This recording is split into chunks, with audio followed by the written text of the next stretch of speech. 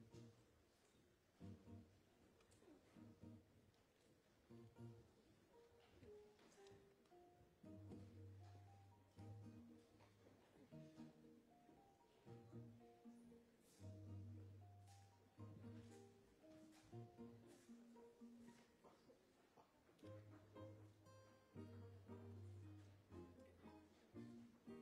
日は舞台フルーツバスケットセカンドシーズンへご来場いただき誠にありがとうございます。本田徹です。開演の前に皆さんにいくつかお願いがあります。携帯電話やスマートフォンなど音の鳴る電子機器は電源からお切りください。またスマートウォッチなどの液晶付き時計は上演中に光らないように設定をお願いいたします。また許可のない撮影録音館内での喫煙お食事も禁止しています。公演中は非常灯を消灯します。非常灯の位置のご確認をお願いいたします。地震など有事の際は慌てずに係員さんのご指示があるまで席に座ったままでお待ちください。それでは間もなく開演いたします。ぜひ楽しんでいってください。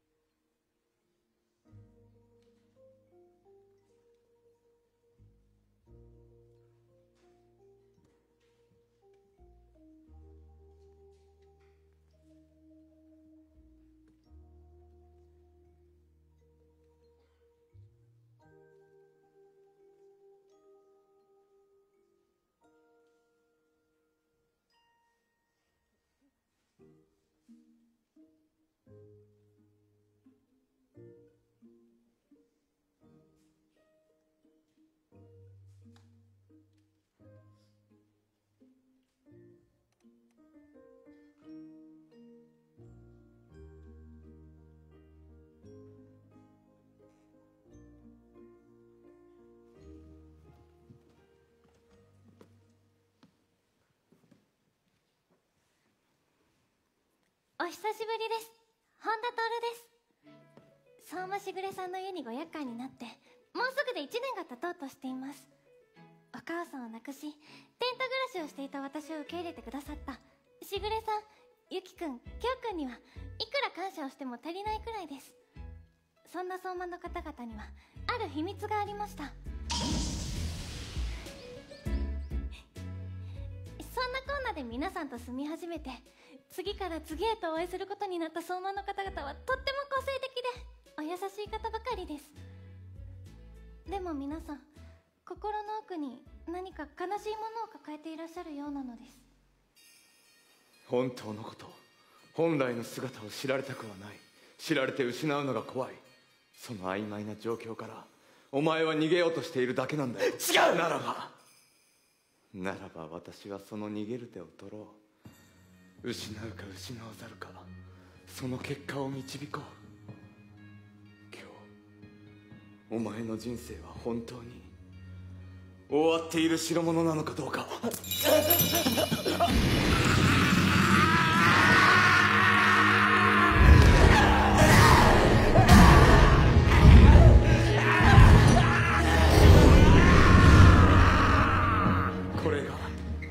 猫付きの今日が隠していたもう一つの姿です。君が悪かったですか？怖いと思いましたか？癒してくださいますか？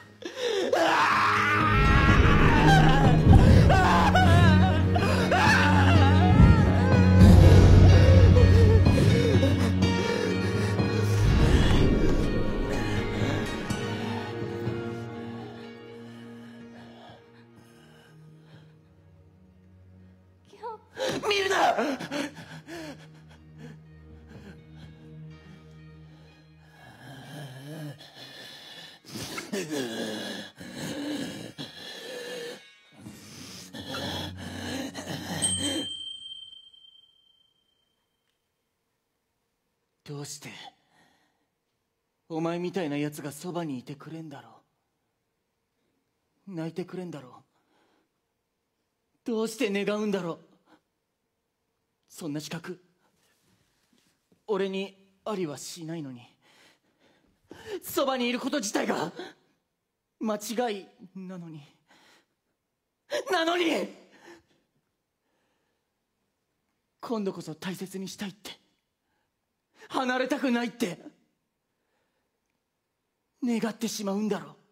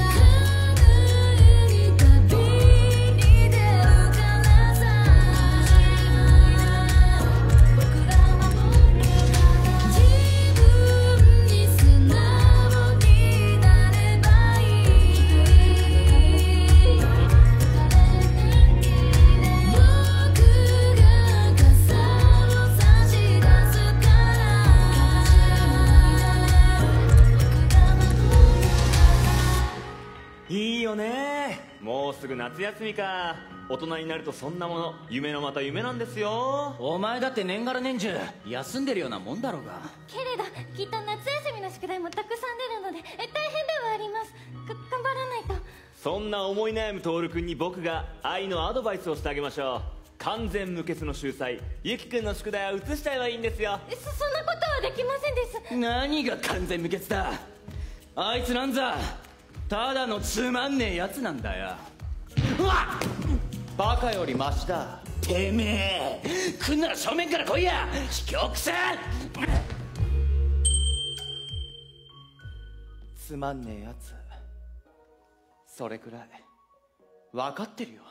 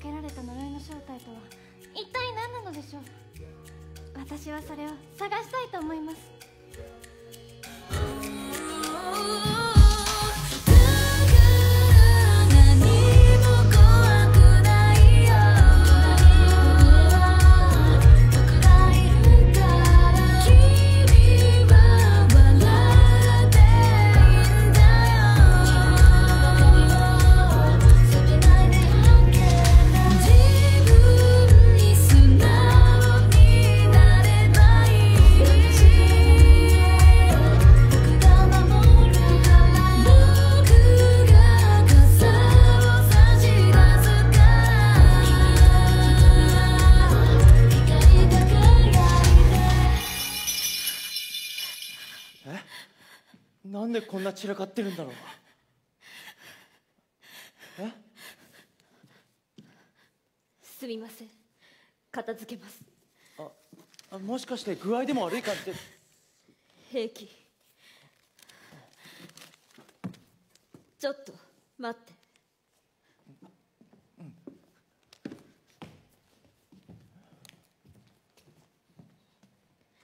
真鍋起きて。人が来たうん？宇宙人が来たら起こして。相馬由紀が来た。おー！え？なんだよ起こせよ！バレバレじゃんよサボってたんだよ！俺かける。誠の鍋が飛ぶって書いて真鍋かける。みんなは俺のことを真鍋とか真鍋くんとか鍋くんとかかけるとかちょっとそこの人とかいろんな呼び方するけどまあ適当に呼んで。俺的には翔ってのがおすすめなんだけどね誰も呼びやしねあの。あー平気平気。あんたのことは紹介されんでも知ってっから。相馬由紀。ちなみに俺2年 A 組ため。あいつは1年で名前は倉木町おーっとそうだ。俺。ブラックだから。は？ブラックって？だから。おーれブラックだから。えコーヒーのこれだけは絶対譲れないからそこんとこよろしく頼むから。で君たちが何なのかそろそろ言ってくれない？な真鍋私たちが役員になったこと言ってない。あーそっかそっか。俺副会長。でこいつは会計。つまり新生徒会会長のあんたの下につくのは俺らっつうわけ。まあ一つよろしく頼みます大丈夫なのか？心配せんでもあんたの指示はちゃんと聞くから言いたい放題してちょうだい。じゃあバイトだから帰んね。副会長様のお帰りですよ。ほらちゃんと見送りしてくださいよ。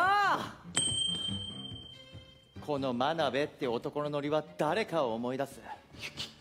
生理的拒絶反応すら起こしかねないこの発言と行動がちぐはぐな上他人のことなどお構いなさげなこのノリはユキ弟よや!っつ属性か!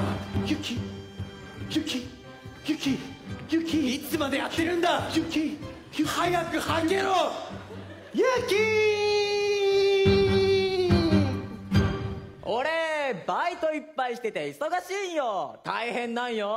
よくそれで生徒会の仕事受けたね。だって学園防衛隊って言葉に惹かれてさ。は？生徒会ってまたの名を学園防衛隊って言うんだろ？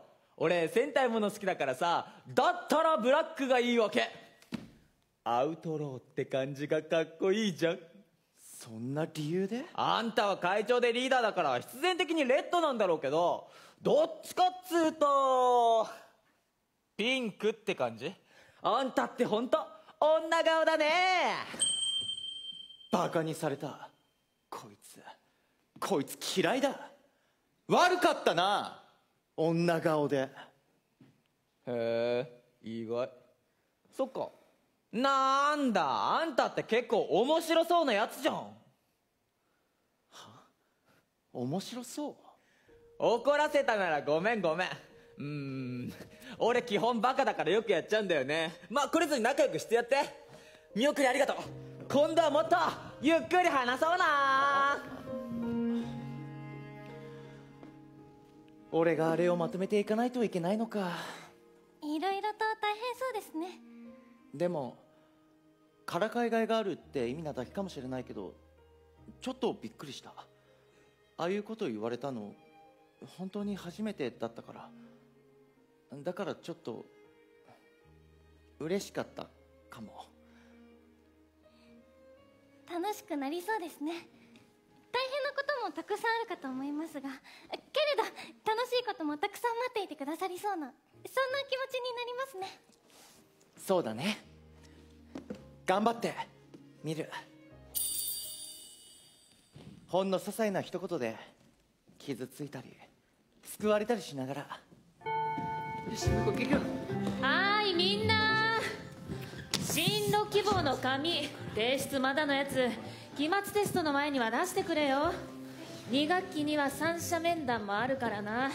ちゃんとそのこと保護者の方にも伝えておくように。いいな。聞いとけちゃんと。トール君はもう進路の紙を提出した？はいそうよね。困ったわ。私はまだなの。私もだ。今から進路聞かれてもさ。はい。もみじくんは進路のことをもう決めていらっしゃるみたいです。僕ねもう進路決めてあるの。僕には無理かもだけど叶えられたら素敵ってそう思うから信じてみるの。徹にもいつか見せてあげるからね。無理かもって言ったんだ。はい。たくさんあるんだね。戦っていくものって。ちなみにトールの進路ってやっぱあれ？えっとやはり就職してえちゃんと自活できるようになりたいです。そうね。就職もいいわよね。そうだな。でもトールお嫁さんになるって手もあるんだぞ。あら大変。じゃあ私やっぱり大学に入ってより良い就職をした方がいいわよね。おめえがトールと結婚してどうすんだよ。そうじゃなくて例えばこいつら二人のどっちかとかさ。は？はってなんだって。まさかトールじゃ不服とでも言うんじゃねえだろなこれ。いやそういうわけじゃないけど。あら。じゃあ勝負する？いや勝手に話進めて勝手に喧嘩売ってんじゃねえよ。あのもしも本当にお嫁さんになれたとしてもえそれはまだきっと先のお話ですよ。案外私の方が先に結婚したりしてな。誰も従んねえよ。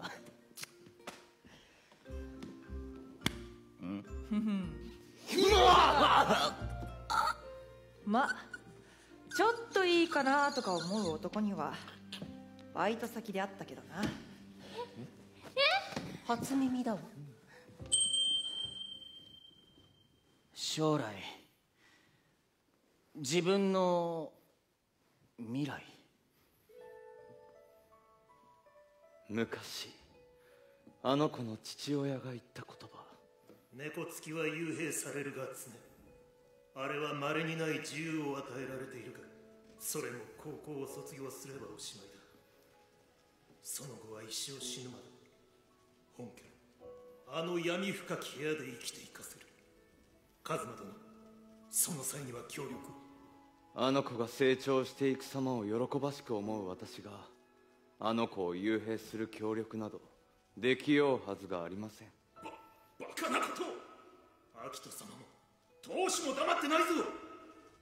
今日自身も今用意されている未来に気づいているのだろう。戻らせたくはない。もう二度とあの闇には立たせたくないきょうくん師匠さんの後ろ髪なぜに切ってしまわれたのでしょう？なぜにって？験担ぎのようなものだったからもう切っても。誰かさんは大丈夫な気がしてね。親バカなんだよ。ただの。何笑ってんだ？あいえ。京くん将来はやはり師匠さんの道場を継ぐんですか？ああ。まあ俺は猫付きだからな。相馬が納得しねえなら阻止される。あととにかく進路とか将来とか聞かれるとその前に社会に出ていけんのかよとか普通の奴らと普通に肩並べて生きていけんのかよとかもうそういうこと考えると途方に暮れんだよ。なんだその面。お前だって似たようなもんあんだろうが。私ですか？高校卒業すんのも就職して自活すんのも母親のために決めたことだろうが。でも今は一人で本当は将来とか不安に思ったりもしてんだろうが。そそんなことはないですよ。私はちゃんと立派に働いて。卒業した自分3年後。10年後の自分。いつかこのお家を出ていく自分。深く考え出すと誰に何て言ったらいいかわからない。漠然とした不安がこみ上げてきてなんだか無性に心もたなくなってきて。おいどどうした？ですよ京くん何か気にしないようにしている場合知らんふりをしていただかないと弱々になって困るですから。お前の泣きにはもう慣れたよ。師匠さんはちゃんと待っていらっしゃってて何かがダメでも京くんが黙って押し殺されている方がきっと辛くて。たくお前ってなんでそんな泣き虫なわけ？いいこと教えてあげようか。あしぐれさん？おやー京くんそんな橋で何してらっしゃるの？わざとだ。こいつ絶対わざとだ。あのね徹くん考えて不安になった時は考えないのが基地なんだよ。例えば徹くんが山のような身動きできないほどの洗濯物に囲まれてしまったとしましょうしかも洗濯機がなくて一つ一つ手で洗わなきゃいけない。徹くんは途方に暮れる。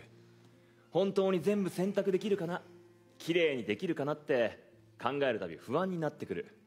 けれど時間は刻々と過ぎていく。さて徹くんはどうするべきか？とりあえず足元にあるものから選択してみるといいかもね。先を気にするのも大切だけど今や今日何ができるか考えるのも大切。そうやって一枚一枚洗っていけばなんだかあっけないくらいにあっさりとお天道様が覗いていたりするものだから。不安はそれでも込み上げてきたりするけどそういう時はちょっと一休みするんだよ。本を読んだりテレビを見たりみんなでそうめん食べたりしてね。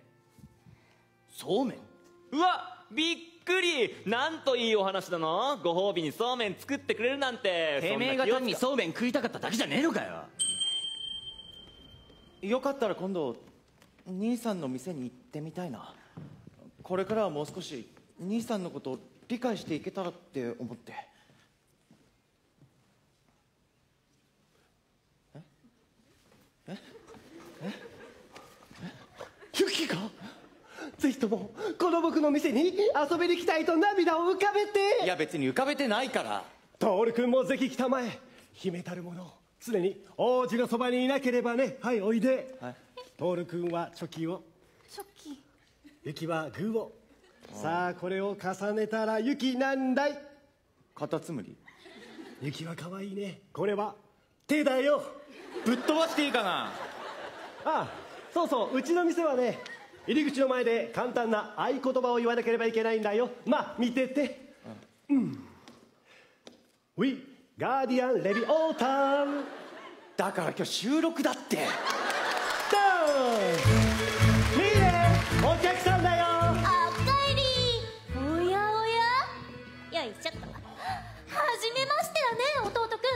私蔵前美音従業員の一人服も作ってるよ。あはじめまして。うんうん。外見だけは店長にそっくりだね。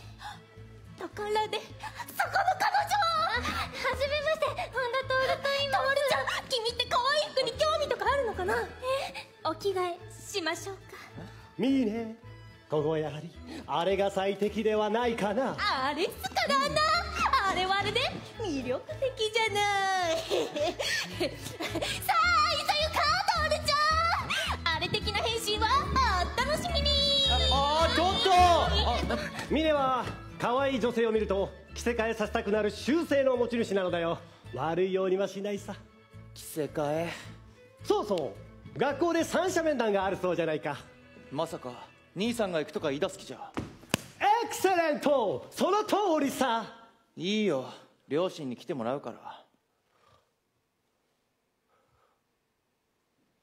We guardian levy all time. 大人に怒られろ。冗談さ。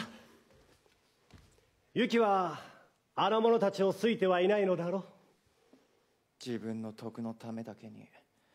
道具みたいに俺を捨てたあの人たちには何も期待していないし何も望んでないだけだよ。それはきっと僕も同じだよ。僕も自由気ままと引き換えに君を売っていたようなものだよ。ユキいい加減になさい。撃つわよ。君が最初で最後に差し伸べたあの震える手をいとも簡単に振り払った。今ユキと会って同じ態度を取られたらと考えたら初めて怖くなった。無関心に取られるのはこんなに寂しいことだったんだね。今さら理解しても手遅れだね。でも逃げててもダメだから呼ぶよ両親。ただまだ進路決めてなくて俺にはまだ自分が何をしたいのか。ユキ一番大切なのは君自身の気持ちさ。大丈夫さ。君は道具なんかじゃない。君は君が思っているほど。一人なんかじゃないから。グレさんから聞いたがユキは生徒会長になるそうじゃないか。あからさまに兄であるこの僕の影響を受けたと言わざるを得ないね。違う。なりたくないからなったんだ。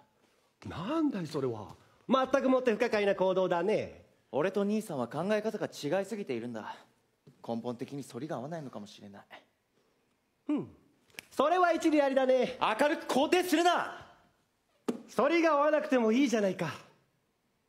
きっと君にないものを僕が持ち僕にないものを君が持って生まれてきたのさ。僕は君の持つ弱さや優しさはとても尊いものだと思っているよ。店長。おっと！いいかがでしょう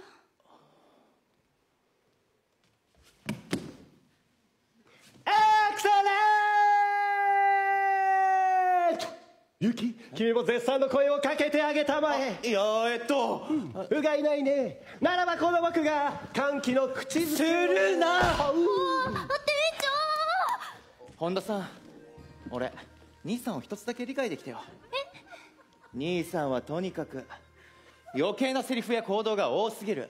そういうもんと諦めて接しないと兄さんのペースに巻き込まれてただ疲労のみ溜まっていくだけだということがね。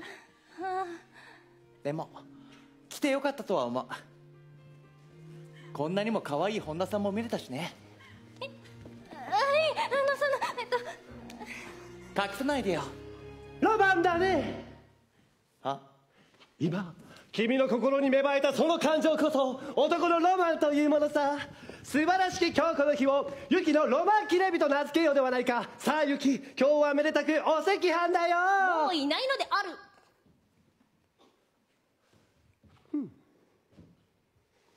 また逃げられてしまったよ。それで弟くんとは交流できた？結局また僕一人が嬉しい思いをしてしまったのかもしれないね。君は道具なんかじゃない。一人なんかじゃないよ。も調子はどう？リン。出てって殺風景だから何かあるといいと思って買ってきた。綺麗でしょ？いらないから。リン。もう君。いらないから。もう。飽きちゃったから。ユキ今日大変大変大変なの。春がブラックになってクラスですばしく暴れてるの。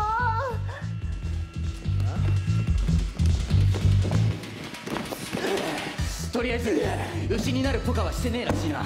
おいハル！ああ？何やってんだよハル。暴れてんだよ。止めてえなら息の根止める格好にかかってこいや。なんか久しぶりに中小のブラックが降りてきてふざけたことぶっこいてんじゃねえぞハル。てめえが暴れってこっちも迷惑なんだ。うっせえてめえは存在自体が迷惑なんだよバカ猫。ああこらガキもう一遍言ってみろ。ハル理由は分からないけど学校で暴れるのはよせよ心配性だな雪姫は。暴れついでに変身されちゃ困んだろ違うそれだけを言ってるんじゃない。もっとこう。バカくせえ。バカくせえ。バカくせえんだよ。ビクビクしやがって。そんなんならいっそ全部バレちまった方がせいせいするぜ。初春さん。なあそう思うだろお前も。何切れてんだか知らねえが。わけわからんてめえの苛立ちにトールを巻き込むな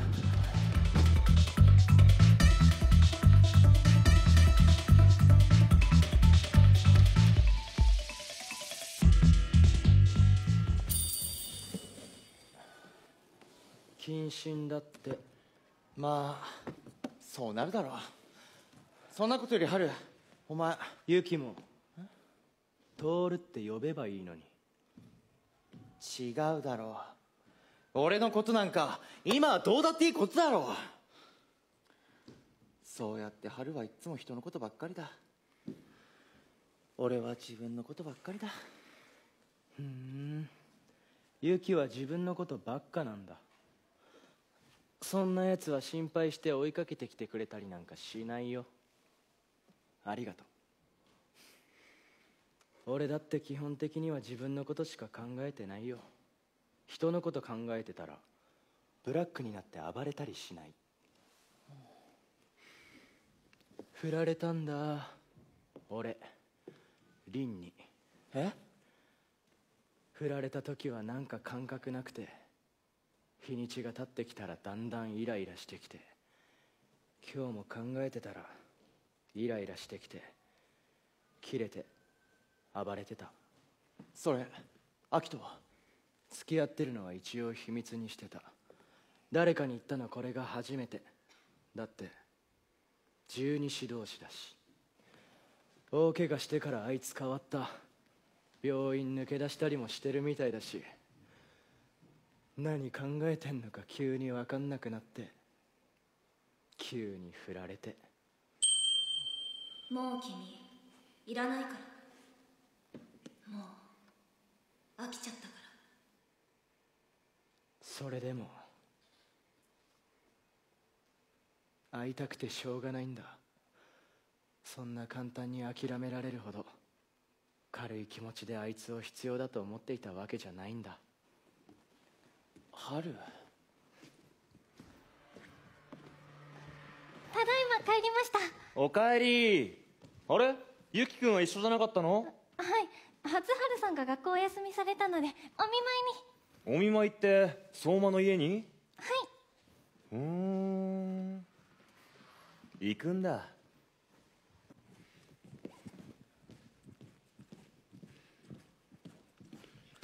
わびっくり。ユキのそっくりさんが来た。ミステリー。本人だよ。ピース。ユキもピース。何がしたいんだお前は。ユキが本家に来るの久しぶりだから。記念に。しかも俺のために。さっきリンを見かけた。また病院抜け出したんだ。大丈夫か？リンのこと。うーん。とりあえずはまだ諦めないよ俺がどれくらいリンのこと好きかあいつは分かってないみたいだし犯罪にならない程度に頑張る。そうだな。じゃあ頑張れ。ユキも頑張って名前で呼べるといいね。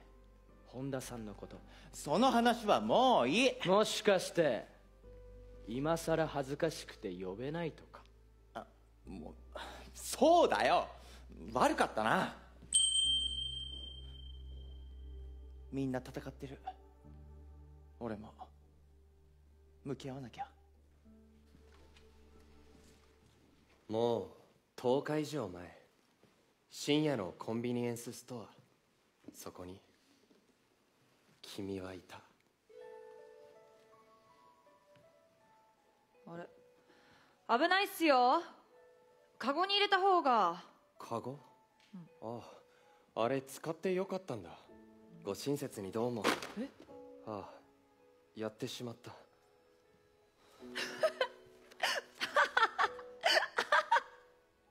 マジで。マジでトールと同じことするやついるかよ。ああごめん。やっぱりカゴ入れた方がいいっすよ。よいしょあこれうまいよな。私も好き てかあんた何個買うんだよ。変なやつ。ああおかしい。よくわからないけれど君はとても楽しげに笑ってみせたから。それがとても心地よかったから。ずっと見ていたかった。うーっとあ待った待った君はコンビニのそうコンビニのすっげ偶然びっくり後ろ姿見えてつい必死で追いかけちゃったよ。わけわかんねえな。暑お腹が空いてるの？い昼飯まだだもん。せっかくだし一緒にどう？おごるよ。マジっすか？マジですよ。コンビニのお詫びも兼ねて。やったぜ。待ってろとろろそば。ただ飯イエーイ。とろろそばとかでいいの？ほら早く行くぞ。休憩30分きゃねえんだから。とろろとろろうん。ねえあんた名前は？名前？暮れの。私魚谷。魚谷ありさ。暮野さんは何か用事があってあそこを歩いてたの？違うよ。ただフラフラしてただけ。特に目的もなく。久しぶりに仕事で暇をもらってでもすることもなくて歩いて時間を潰してたんだ。うん。君は今日もバイト？あうん。俺26だけど君は高校生くらいだよね。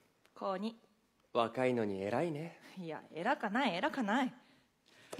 9つさこれってちょっと犯罪的なのか？それに比べて俺はコンビニでの買い物もあれが初めてだったし少し情けないかな。買ってもよくわからなくてあんた何？まさかどこぞの国の王様？まさか。いやだって今時コンビニで物買ったことねえなんて。26で。無駄なことだから。え？あの日コンビニに行ったのは本当に特殊で不必要なことは普段しない。定められた通り生活して仕事してる。そういう生活って幸せ？幸せだよ。何不自由なく満ち足りていて。きっと誰よりも。だったらもっと幸せそうに笑えよ。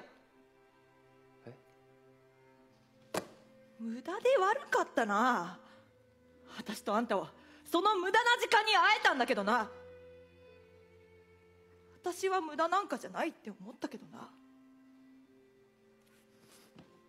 コンビニで会ってこうしてそば食って。私は私が思ってたよりずっとずっと。あんたに会いたかったから。だから嬉しかったけどな。アリサアリサ待って。気なし呼び捨てかこんちくしゃ。頼むから落ち着いて。泣かないで。泣いてねえよ。ごめん。考えなしな言い方だった。俺だって嬉しかった。本当に。声をかけてくれたこと。俺も会いたかったんだ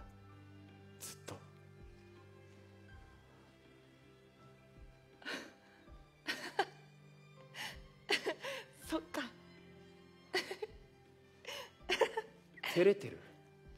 黙れ。照れてる。あ。ちゃんと笑った。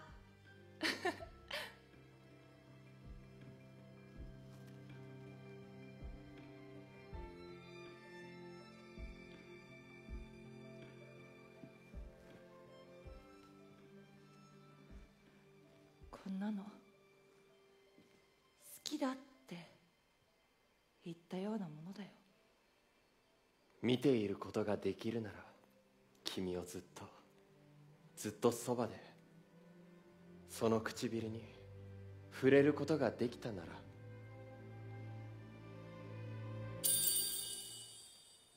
おかえりクレノ外で悪さはしなかったろうね。大丈夫だよアキト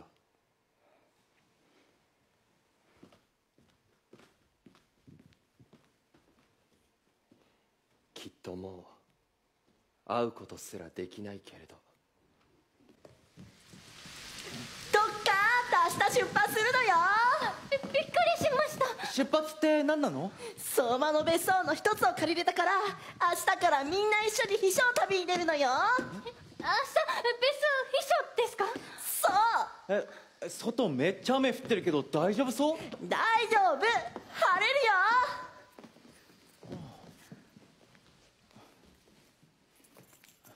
すみません。準備を手伝っていただいて。うん。それって本田さんの帽子？あえこれですか？うん。その本田さんのものにしては珍しいというか。小さい頃迷子になった私を助けてくださった男の子のものなのです。どこのどなたか存じませんし顔ももう覚えていないですが。どうして残してるの？もうそんなボロボロ？大切な思い出ですから。本当に嬉しかったですから。大切な思い出。晴れたよ僕は適当に仕事を片付けてから行きますよ。ゆきくん京くん僕がいない間に徹くんに悪さしちゃダメだぞ。お前がいねえ方が安全だよ。あでは行ってまいります。はーい気をつけてね。早く早く。出ておいでよ。久しぶりだねリン。私がここに来た理由。私が考えてること。欲しがってるもの。グレニーはもう分かってるんだろう答えてグレニー僕はそんなに生優しい男に見えるのかな？見えない。バカかい君は？それともその愚かさは策のうちかい？よーし！待てもみじ。おい！リーチボールリーチボールほらガキ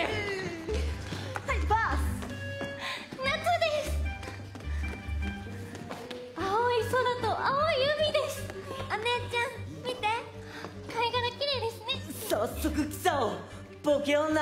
ビーチボールやろうよ。ユキも。えやろうぜ。ああ俺はいいよ。雪が入れば今日も燃える。あ燃えねえし。俺はそんな単純じゃねえ。よやろうかな。絶対負けねえ。勝つ。俺は勝つ。では皆さん気をつけてくださいね。おいなんかガヤが集まってきたな。飛んでっても知らねえぞ。構えとけよ。ちょっと待った。あ？今日は全員でやろうぜ。全員？好きな方選んでいいぞどうする？どうする？どうする？行くか行くか。せーのでいきますか？はい。いきますよ。せーの。なんでだよ？なんでそうなんだよ？おいそんなにこっち勝ちが薄いか？あこっちの方が人数多いからあっち行って。あの後頭部だけでいいから見えるクソネズミ！てめえだけは許さねえ！絶対絶対勝つ！前行っていいよ。畜生が。絶対後悔するからなそんな人数。一応頼んだ。もうメンタルで負けてるぞ絶今絶対勝つ。行くぞ！来い。おらおオッケー後ろオッケーあれないよいしょ！ナイス。おらオッケー入るよはい。お。よしよしよし。オッケーオッケー行けこれはこれは今日のよっしゃーやったぜお前次は負けないお前キサにキサに謝らせんなよ楽しいですねいいかいこの世は真っ暗で君の一生も真っ暗なんだ。いつか救われるなんて勘違いしないで。えゆきくんえ大丈夫ですか？平気。ちょっと休んでくるね。前に俺が取った同じおでしょ？部屋ですよ。うんボケ女。これあんたんでしょ？お母さん。えなぜそこにいらっしゃる？今落とした。ありがとうございます。よかったです。というかなんで母親の写真だけ持ち歩いてるわけ？父親の写真は持たないわけ？大体あんたって本当何かといえばお母さんお母さんだよね。なんかそればっかって感じ。他には何もないわけ？それはそれはおーい早く！はい。ひろちゃん今の言い方よくないよ。え別に大したことないと思うけどあいつも平気そうにしてたし。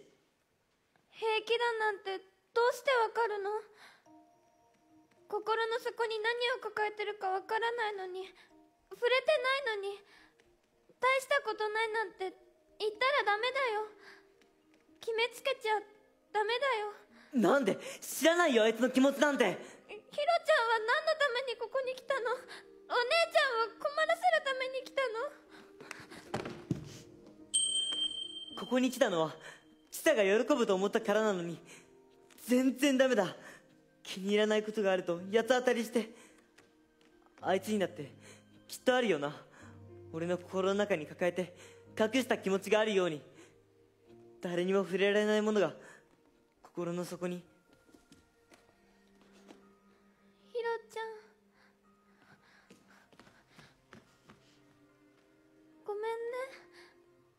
私の言い方も良くなかったかもしれない。だからごめんね。俺も俺こそごめん。ごめん。ねえしっとりだひろさんクワガタいましたよ。なんか今朝はいつにも増して元気だな。お姉ちゃんそれカブトムシじゃないかな。クワガタだぞえ？カブトム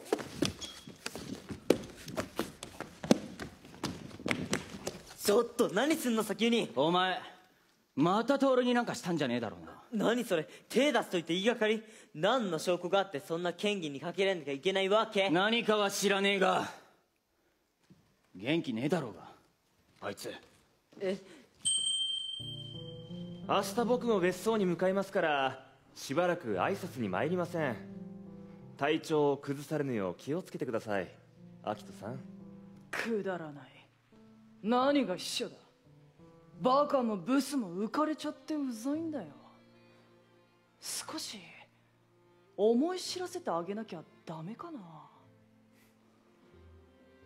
何？笑ってるの？文句でもあるの？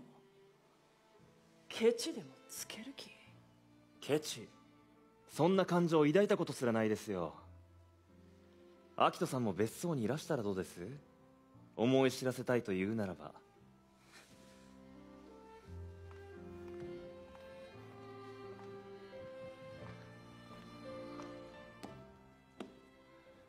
ゆきくん？ゆきくん？ゆきくんしっかり！ゆきくん！微熱だから心配いらないよ。ごめん。結局心配かけて。結局？気になさらないでください。伝えたいことがあるんだ。いずれ君に伝えるべきことがあると思う。暗闇だけじゃないって今は思えるから。勘違いじゃないって今は信じてるから。その時が来たら聞いてくれると嬉しい。閉じた蓋を開けなくちゃ。蓋を開ける？もうすぐご飯だよ。は？あ本当に？うん分かった。あ転ばないようにね。ひろちゃんどうかしたの？母さん妊娠したんだって。え？よかったねひろちゃん。おめでとう。名前考えなくちゃね。きっとヒロさんに似た可愛らしい赤ちゃんがお生まれになりますよ。さつきさん若いななんかその言い方不快だからやめてくれる。しぐれのおじちゃんいつ来たの？仕事を終わらせてついさっき着きましたよ。よかったです。もう絶対もののけつきの子供は生まれないからママを悲しませたりなんかしないね。十二種は全員生まれてきてるから俺たちが生きている間は大丈夫。改めて思い知らされますもののけつきとして生まれたこの方々がどれくらいの痛みを抱いて生きているか。私は今まで無神経なほどお母さんのことを口にしていたのでは。私はもしやたくさん傷つけてきてしまったのでは。お前やっぱりヒロに何か言われたろ。あいえはっきり。あはい。ヒュッ君のご両親のことをお聞きしてもよろしいですか？あれ？ああそうか。もう言ったつもりでいた。実の父親とは絶縁状態みたいなもんだ。母親はじ事故で死んだ。俺が4つか5つか。昔の話だ。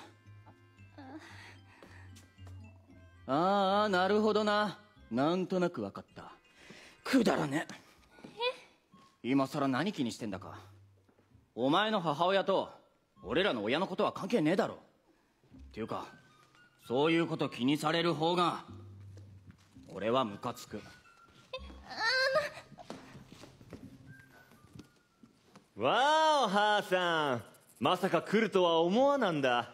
アキトにいらんこと吹き込んでおいて。開けちゃうよ。お腹パッカーンって。来たの？俺だけじゃないくれのどうしてここに？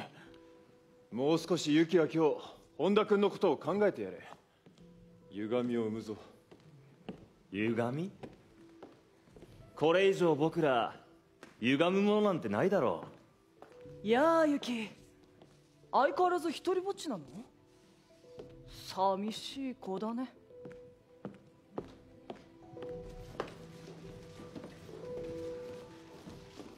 んがここに？う皆で挨拶しに行かなくちゃ。時にユキ君はどこだい？散歩。あらまあそう。じゃあユキ君は後からでも。おい。まさかトールも挨拶に行かせるつもりなのか？いや今日は身内だけに済ませておくよ。徹君は。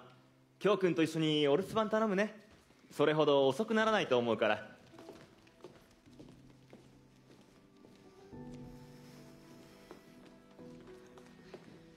一応言っとくけど気にすんなよ。猫はいつだって集まりには不参加なんだ。わざと水差しに来たとしか思えねえな。そういうやつだ。昔っから。急に皆さんの空気が沈んでいってしまうかのようです。やはりアキトさんという方は皆さんの心にとても重要で大きくて。キョウ君にとってもユキ君にとっても。母さん来たよ。本田君はとりあえずお留守番してもらってる。しかし暮野君を連れてきたってのは本当謎だよね。そばに置いておかないと不安なのかもしれないな。不安ね。あレンさんがちょっかいでも出してきたとか？ピンクを口に。しぐれこんにちは秋人さん。港挨拶に来ましたよ。着いたらすぐ僕のところに来いって言ってるだろ。バカはバカなりにもっと俊敏に行動してみろ。全くもってその通りですね。すみません。クレノお前は下がれ。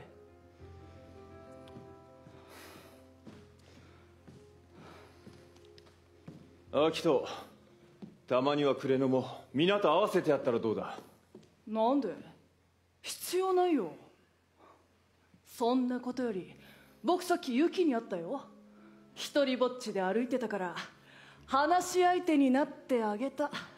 それはそれは優しくしてあげたんですね。当たり前だろ。優しく諭してあげたよ。勘違いするのもいい加減にしたらって。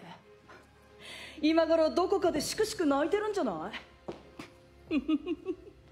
あいつって本当バカ。だからさっさと僕のところに帰ってこればいいのに。来てくれてありがとう。すっごく嬉しいよ。いらっしゃい。みんな大好き。えー、っと怒ってる？いや何もできないでいる俺よりやり方はどうあれ変えようとしてるお前がマシかもしれない。母さんは優しすぎるだけだよ。そして僕は腹黒いだけ。そしてユキはいつまでも閉じ込められていた頃の子供じゃないさ。さて一番勘違いしたままのおバカさんは誰だろうね？やはり不安はやってきてしまうのですこんなことを思ってしまうのはアキトさんにとても失礼ですよね。ユキ君はもしやもう会いに行かれたのでしょうか？本田さん？どうしたの？こんなところで。ユキ君よかったです。会えたです。皆さん遅くて心配で。ユキ君はこちらになぜ？散歩してた。考え事しながら歩いてたらこんな時間になっちゃった。帰ろっか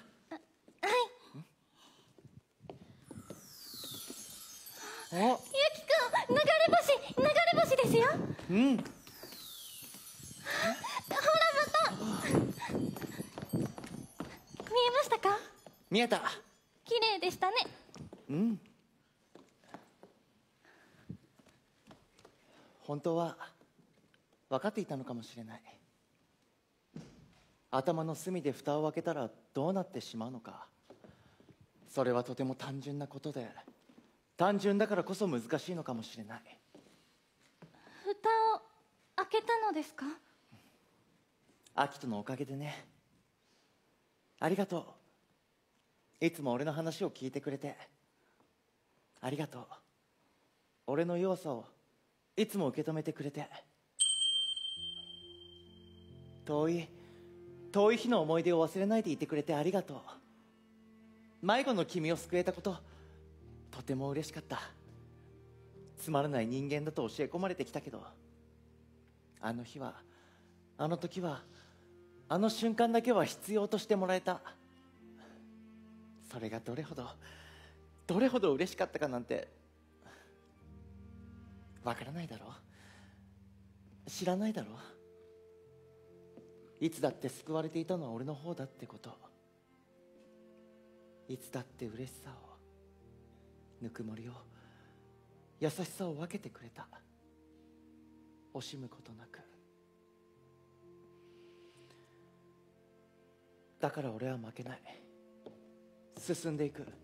前へ。信じていける。きっと。けれどどうして？どうしてそんな悲しそうになさるのですか？それは君があの空のようだから。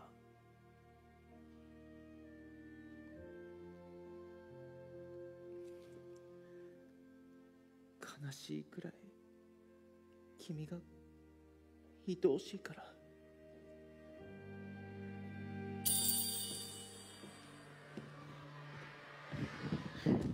いすず別荘に行かない？今みんなもいるんだって。ユンちゃんでしょ？しーちゃんでしょ？はるちゃんに。といってもキャーくんがいるんだよ。あそれにいすずはまだトールくんと会ったことない神楽。辻褄合わせの恋はもうやめたら見てていたい。どうしてそういうこと言うの？本当のことだろいすずいすずったら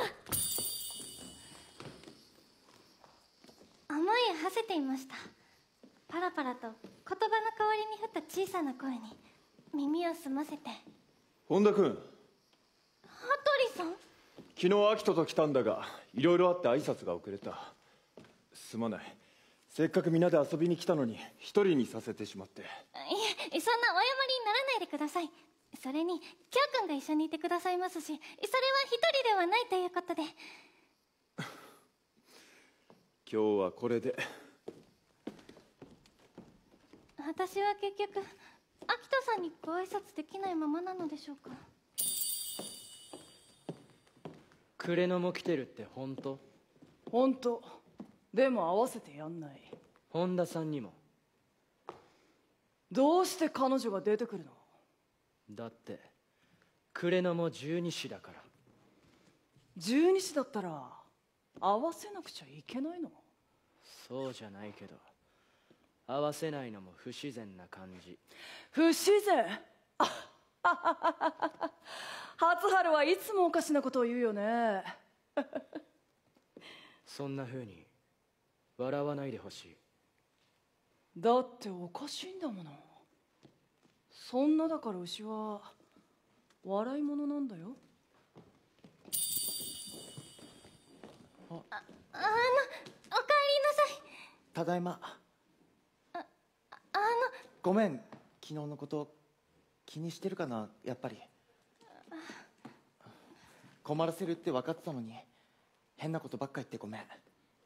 でもキスしたことは謝らないから。その代わり忘れてしまって構わないから。でもゆきくんにとってとても大切なことだったのでしょけれどその声は小さくてどれほど耳を澄ませても聞こえてこない。本当の声。本当のことは言っていい時と悪い時があるだろだからいずれはいわかりました。もしアキトに会ったとしてもバカみたいにキレんなよ。お前がどうあざけられようと知ったことじゃないけど彼女に火の粉が飛ぶような愚行は自重してほしいねなんでてめえにそんなこと言われなきゃなんねんだよ！俺に偉そうな口叩くな！何様のつもりだ？あ俺様。殺す！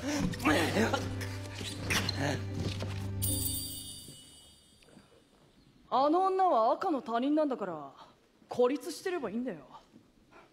でもほら僕根が優しいからブスにも君を紹介してあげよっかなって。だからクレナもちゃんと十二支の一員らしくするんだよ。君は劣っているから心配だよ。その後はまた一人ぼっちに逆戻りだね。せいぜい思い知ればいい。一人じゃない。京くんが一緒にいるんだろ化け物と一緒にいるって楽しいはなぜそんなに水が苦手なんでしょう？うん。猫のもののけが水嫌いなせいだってよ。先代も苦手だったらしいし。先代の方もその数珠をつけていらしたのですか？あ？うん。不思議な数珠ですね。石ですか？人の骨。この赤は血を塗り固めてあるってどこまで本当か知らねえが少なくとも他人の命を犠牲にして作ったお守りなんだってさ。それって変じゃないのかって思ってた。ガキの頃から。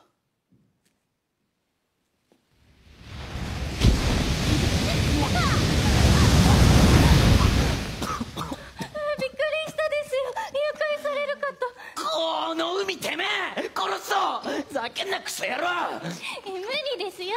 海にはかないませんですよ。笑うな！お前！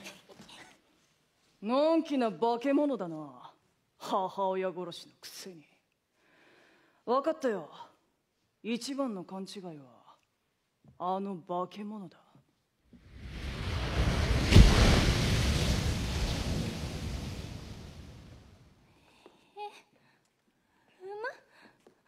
馬馬さんがなぜ？十二支のあの？リン？やっぱりリンだ。ゆきくん馬さんが。リン相馬いすずだよ。いすずさん？見ての通り馬年って。どうして変身しちゃってるんだ？リン具合悪いんだな。あの羽鳥さんを呼ばれた方が。誰も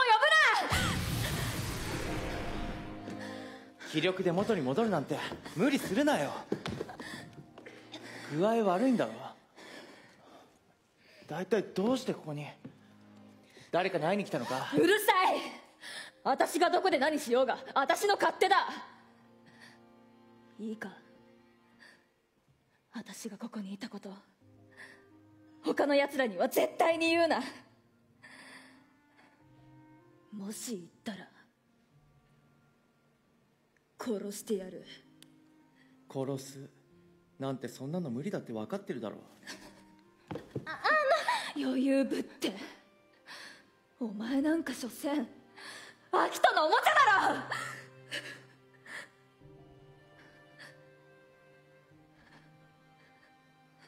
言うな。絶対に言うな。いすずさん。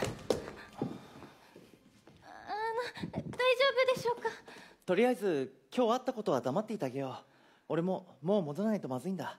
抜け出してきちゃってるから。でも大丈夫。リンのことは俺に任せて。じゃあ。ゆきくん。待っていますね。待ってて。よもやこちらで新たな十二支の方に出会えてしまうとは。馬のもののけつきの方女性の方とても綺麗な方。とうとう残るは鳥さんだけということに。つまりは秋人さんは最後に残る鳥の方。急に呼び出して悪かったね。面と向かって話すのは久しぶりだ。僕の哀れな化け物。あの賭けは僕の勝ちみたいだね。高校を卒業するまでにユキに勝てたならもう化け物呼ばわりしない。十二支の仲間にも入れてあげる。でも勝てなかったその時は死ぬまで幽閉。何？勝手に決めてんだよ。まだわかんねえだろ。なんでそんなに勘違いしちゃってるの？思い出してよ。自分が化け物だってこと。お前が化け物のせいで母親が死んだことも。違う！俺のせいじゃない。お前のせいだよ。お前が母親を殺したんだ。やめろ！ややめろ！かわいそうなお前の母親。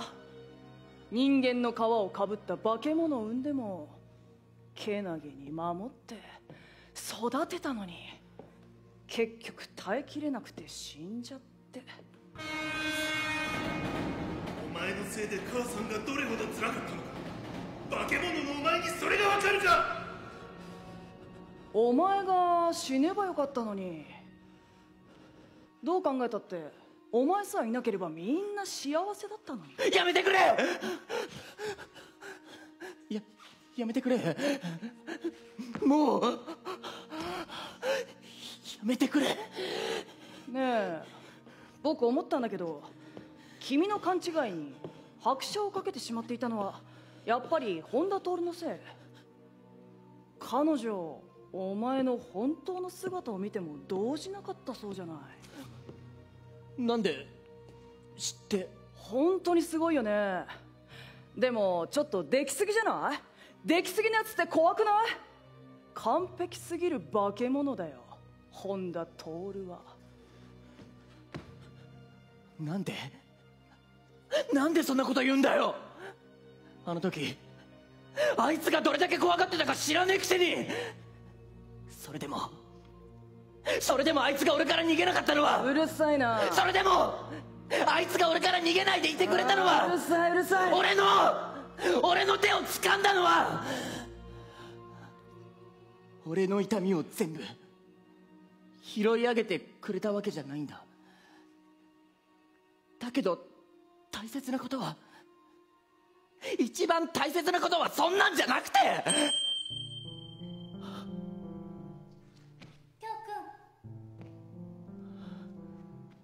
そばにいてくれるんだ。ちっぽけなことで喜んで。嬉しがって。なんだか幸せそうに笑って。なんでなんだ？もっと自分のことばっか考えりゃいいのに。なんでなんだよ。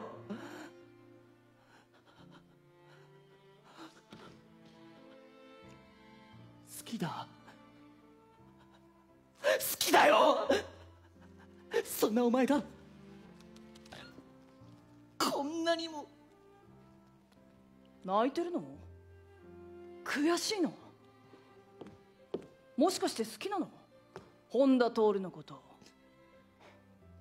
だったら傑作化け物が化け物を好きになるなんてさ。何？なんだよその目は！悪いのは僕じゃないだろ！勘違いしているお前だろ！部外者のくせに大きな顔しているあの女だろ！そんなにそんなにあいつが気に食わないなら！なんであの家に住むことを認めたりしたんだよ！そうやってすぐ僕を悪者扱いするんだね。何なんだよ！結局お前あの女が好きなのか？俺はだったら本当のバカだな。化け物のくせに母親まで殺したくせに今さら誰かを好きになるなんて許されると思ってるのかよ。俺は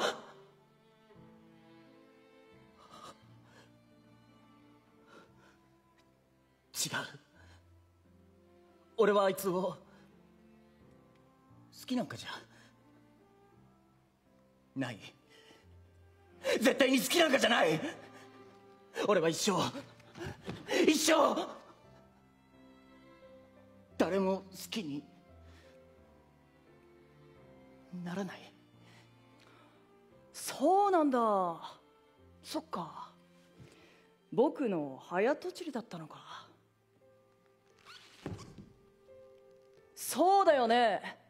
好きになるわけないよね。お前はどうせユキには勝てないから幽閉は決定だけどそれだって一番いいことなんだよ。これ以上あの女やカズマや他の人間を巻き込んだらかわいそうだよ。大丈夫。閉じ込めても僕は会いに行ってあげるから。好きだよ。本当は大好きなんだよ。今日のこと。これからはいい子で過ごすんだよ。あと少し残されたお前の外で生きられる時を。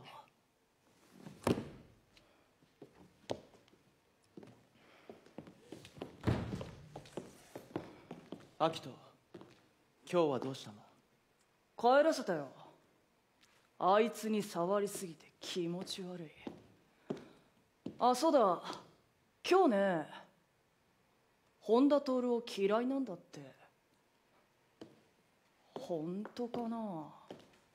多分。そんなことあるわけないだろ。今日師匠は他人の犠牲の上に。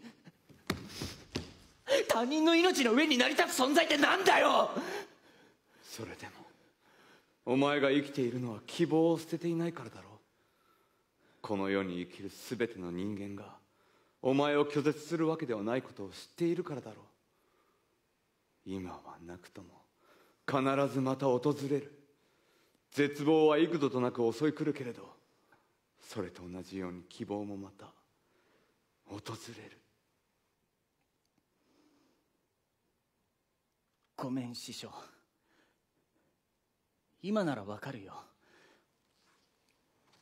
わからないふりをしてただけ。知ってんだ本当は。この世に拒絶があるように。手を差し伸べてくれる人間だってきょうくんどどうされました？えもうお帰りですか？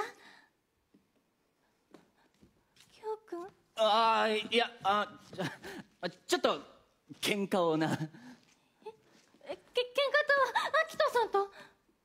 もう来なくていいとさ。いいんだ別に。呼ばれなくても気にしない。っていうかどうでもよくなったかもななんだよ。俺が帰ってきちゃ悪いか。違います。その心配って。嘘。冗談。お帰りなさい。お帰りなさいきょうくんおう。ただいまきだよ。どっかでずっと一緒にいてくれたらとか。そんなこと望んだりもしたけど。もう望まない。俺だけのものにしたいとか。そんなこと望まない。望まないから。お願いだ。せめて。せめて残りの時間だけはそばにそばにいたい。遠く離れるその時まではその瞬間までは。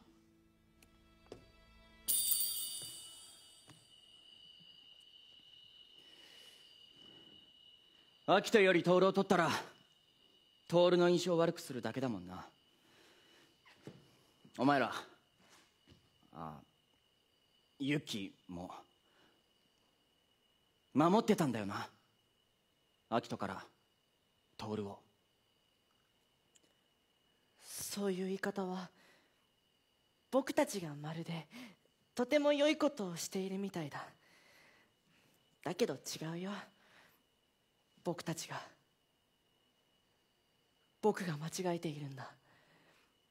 そもそもそれでも徹と過ごす思い出を作りたがる僕は勝って。徹のこと大好きな僕は勝って。じゃあ俺も勝手だな。結局今回どうして呉野君を同伴させたのか疑問なんですがね。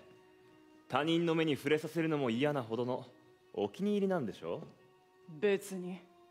最近ちょっと調子悪そうにしてたから少しぐらい休ませてあげようと思っただけだよ。ストレスでも溜まってるんじゃないですか？ストレス？ストレスが溜まっているとしたら僕の方だ。それはまたまだ何か気に食わないことでも？お前が気に食わない。お前優しくないんだよ。全然。全然優しくない優しくしてるじゃないですか。もっとだよ。昔はもっと優しかった。僕だけを見てた。お前やっぱりあの女のことを。アキト本家から連絡が。何？また勝手なことを。誰が当主だと思ってる？アキトが前に出た方がことは早く。また暴れ出してしまいましたかレンさん。何？気になるの？邪推ってやつですよそれは。あの女。あの女。あの女。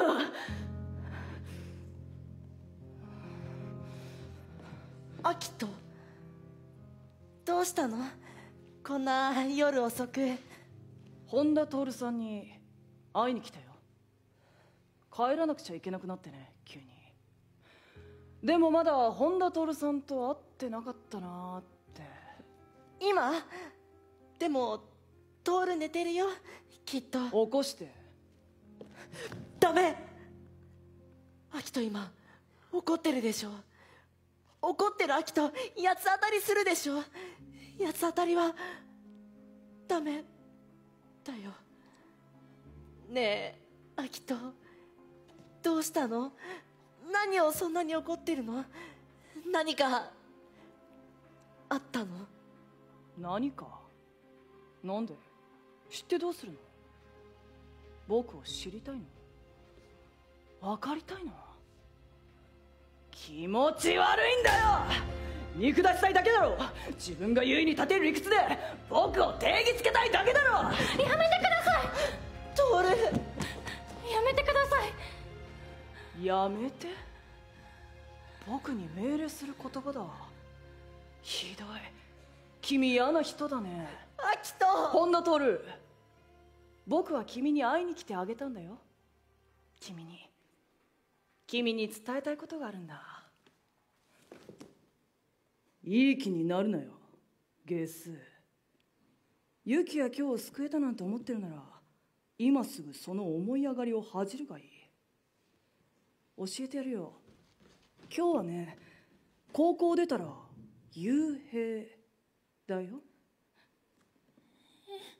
さっきの猫好きと同じように一生。ユキも相馬の中で僕のそばでみんな生きて死ぬ。十二支はみんな同じところで同じ場所で同じ速度で生きていくんだ。奪うことはなく奪われることもなくいつまでも変わることなく。幸せな未来終わりなき宴不縁。でもお前は仲間に入れてやらないよ。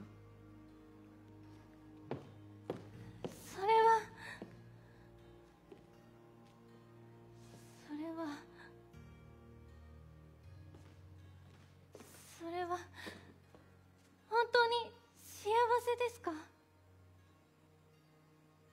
閉じ込めることが相馬のうちに戻ることが上になることが前へ前へ歩もうとしていらっしゃるはずの皆さんの思いは？さも悪いことのように言うのはやめてくれないか？他人の君と僕らでは所詮生き方が違うんだ。なたは誰ですか？あなたは十二支の皆さんの何？僕は十二支にとって誰よりも神に等しい存在。彼らの魂を滑る者魂の主だよ。アキト！探した。どこへ行ったのかと風邪をひく。ごめんクレノどうしても挨拶しておきたかったんだ。もう戻るよ。あそうだ。紹介しておくよ。彼は相馬クレノ鳥だよ。鳥？この方が鳥？はじめまして。トールさん僕らの幸せを壊そうとしないで。手しゃばらないで。さもないと罰が下るよ。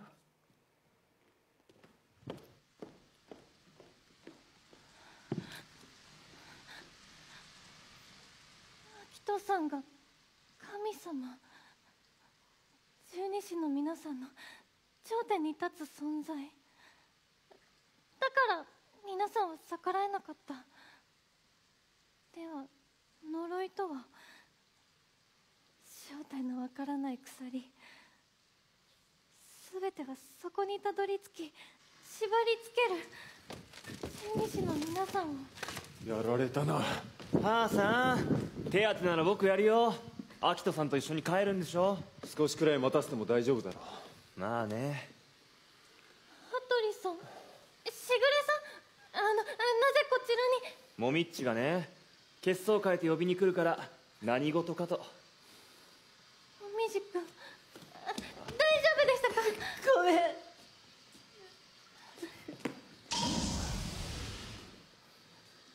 みじくん。戻ろ風邪ひくよまもみっちはよく頑張りましたね。それに比べて若者たちは。うそれに比べて俺たちは。だろほら帰った。もみじなら必ず大人を呼びに行ってくれるって言っただろ自分の情けなさに吐き気がする。あいつでも自分のこと情けないとか思うことあるんだな。やっぱり。皮肉？違うよ。本気で。守るっていうのは簡単じゃないから。そうだな。守るなんて簡単なことじゃないよな。晴れた晴れた晴れた雨やんだ花火行ってきるよねえなんで二人して怪我してるわけ？あこれですか？え昨日の夜散歩をしていて転んでしまったのですよ。ねもみじくん。うん僕たち似た者豆腐なのよ。それを言うなら夫婦だろ。きょうくんきょうくんは花火を見たことがありましたか？ああガキの頃師匠が買ってきてくれたことがあってさこんな楽しいもんがあんだって思ったな。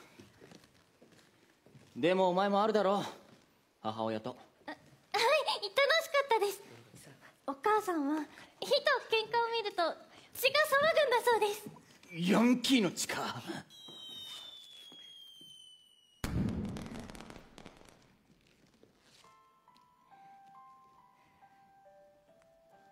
師匠さんが花火の光を伝えたのは幽閉される未来のためではなくてユキ君が戦い続けているのは相馬に戻りたいからではなくて多分本当は心の奥で自由に願う未来があるはず。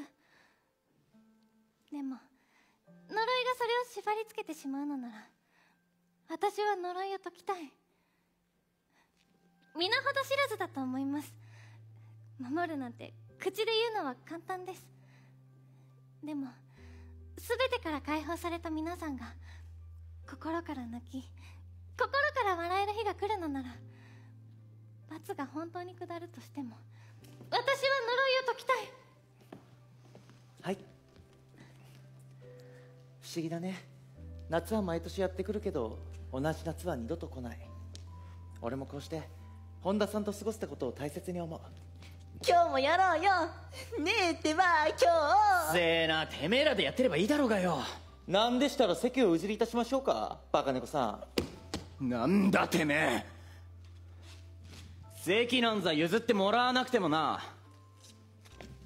俺は勝手に座れんだよ。意固地は本当手がかかる。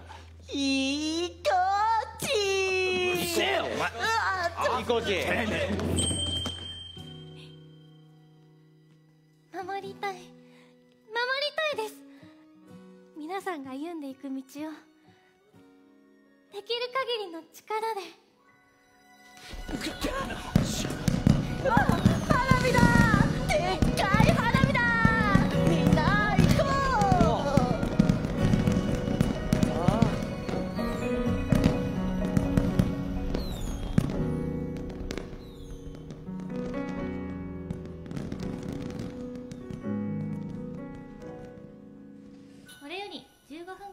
計となります。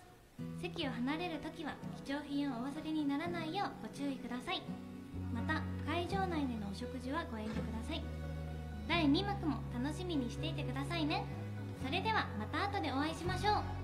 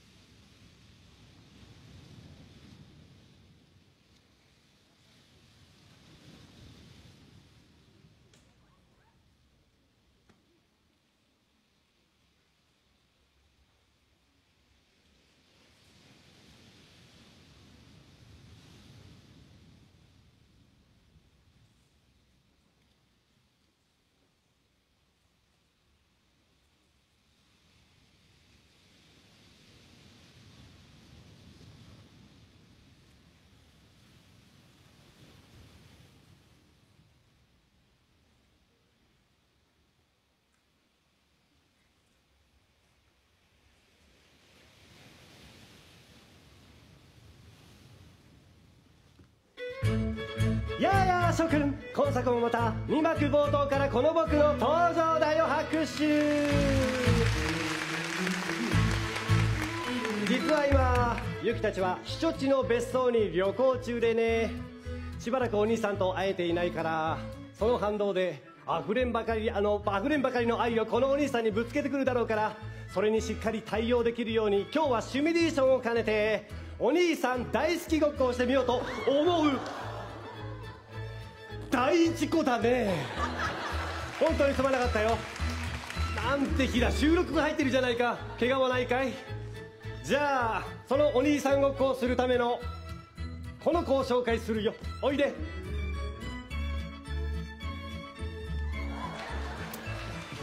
はい気を取り直して。さあこの子の名前はお兄さん大好きっ子ゆきちゃん100%だよ。はい皆さんに自己紹介して。なんだい？だんまりかい。どうしたんだい？お兄さんとしか話したくない？まったく仕方ない子だね。お兄さんはいつだって一緒だよ。今日からは強気な姿勢で君との絆を深めていくことにしようじゃないか。ではせっかくだからお兄さんと神経執着でもしようじゃないか。さあ親どうしたんだい？そんな高い高いところから。何何？高いところからお兄さんの全てが見たいだって。うん。江戸っ子だねゆきは。いいともそれじゃあお兄さんと神経衰弱やるよ。ちょっと見えないね。まあいいさ。それでは行くよ。ゆきからどうぞ。何何お兄さんにめくってほしいだって。うん。甘えん坊だね。いいともそれじゃあ行くよ。こちらメラ。お兄さんペラ。お兄さんすごいねゆきは。ワンペア。それではこちらはお兄さん。またお兄さん。ゆきはすごいね。エスパーかい。じゃあ最後も行くよ。お兄さんだね。やっぱりお兄さんだ。すごいね。こんなにもお兄さんのブロマイドを引いて。なおかつゆきはお兄さんの気持ちも引こうというのかい。欲張りさんだね。では次はああ。なんということだユキ。体がペラペラになってしまったではないか。死んではいけないユキ。死ぬ時は一緒だとセーヌのほとりで誓い合った日に見た夕日は今もこの僕の胸で輝きまくっているよ。あやめさん。ゆきくんたちがそろそろ帰ってきますよ。君たちついにマイクが生かされたね。あと怪我は大丈夫かい？すまなかったね。じゃあこの後も引き続き頑張っていこうじゃないか。ハウス。では諸君本当の第2幕の始まりだよ。思う存分楽しんでいってくれたまえ。はけると見せかけて立ってなさい。はけると見せかけてまた僕から始まる世界線。ただいま。やっぱり我が家が一番だな。長旅ご苦労だった諸君。さあさあ。僕に構わずゆるりと続いと和むがいいよ。ちょっと待て。どうやって家の中入って。クソネズミちょっとごめんね。ちょっと待って。回収だけするね。君たちちょっとありがとう京吉。威力が強くなりしてんだ。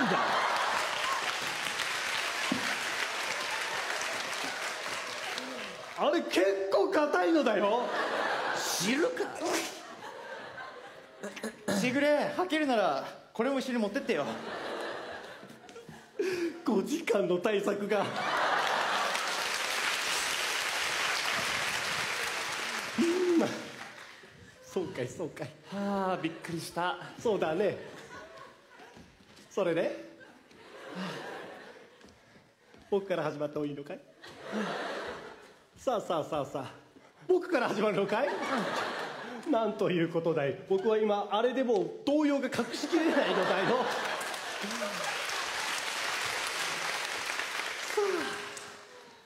しぐれ鍵かけ忘れたからこういうことになったんだよ。ああそうだね。うん。で兄さんは結局意味はなく家に来たの？アキトさんが来たそうではないか。別荘にどうやら僕はまた君の力になれなかったようだ。だからせめて今夜は傷ついた君をこの胸に抱きながら眠りにつくと誓おう。カムヒア嫌だ。絶対に嫌だ。心から嫌だ。ならば撃つがいい。傷ついた心に任せ撃って撃って撃ちまくるがいい今日吉を。いやお前じゃないのか。そこまで文句をあげつられるならば致し方ない。この僕の半生を描いた第2幕を上映しようではないか。なんでそうなるんだ？やってみろ。全力で叩き潰す。おいでさっきのを修正するよ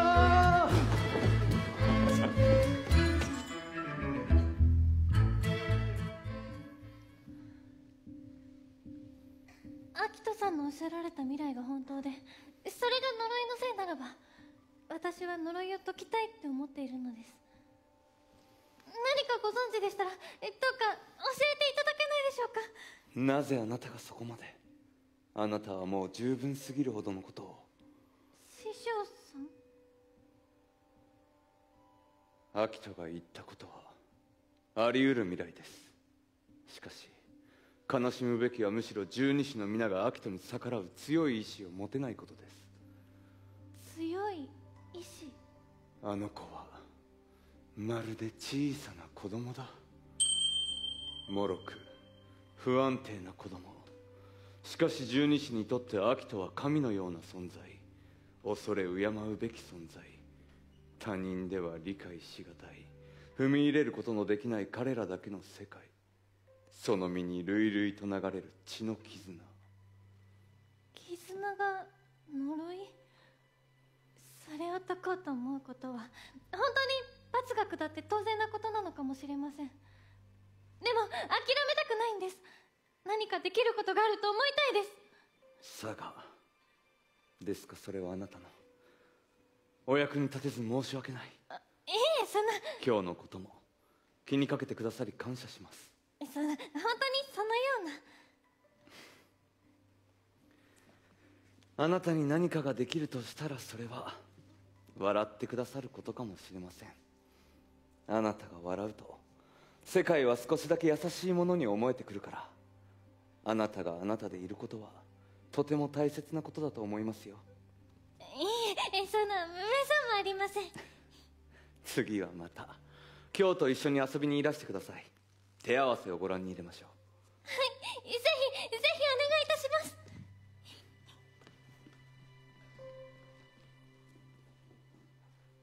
そうしてあなたと過ごす時間が支えとなるよう新たな絆となるように。今日は千客万来だね。どうした？怖い顔をして。あの子がこの家から出てくるのを見た何しに来たの？お前と同じ質問をしに来たんだよ。させない。余計なことは。させない。くん。もう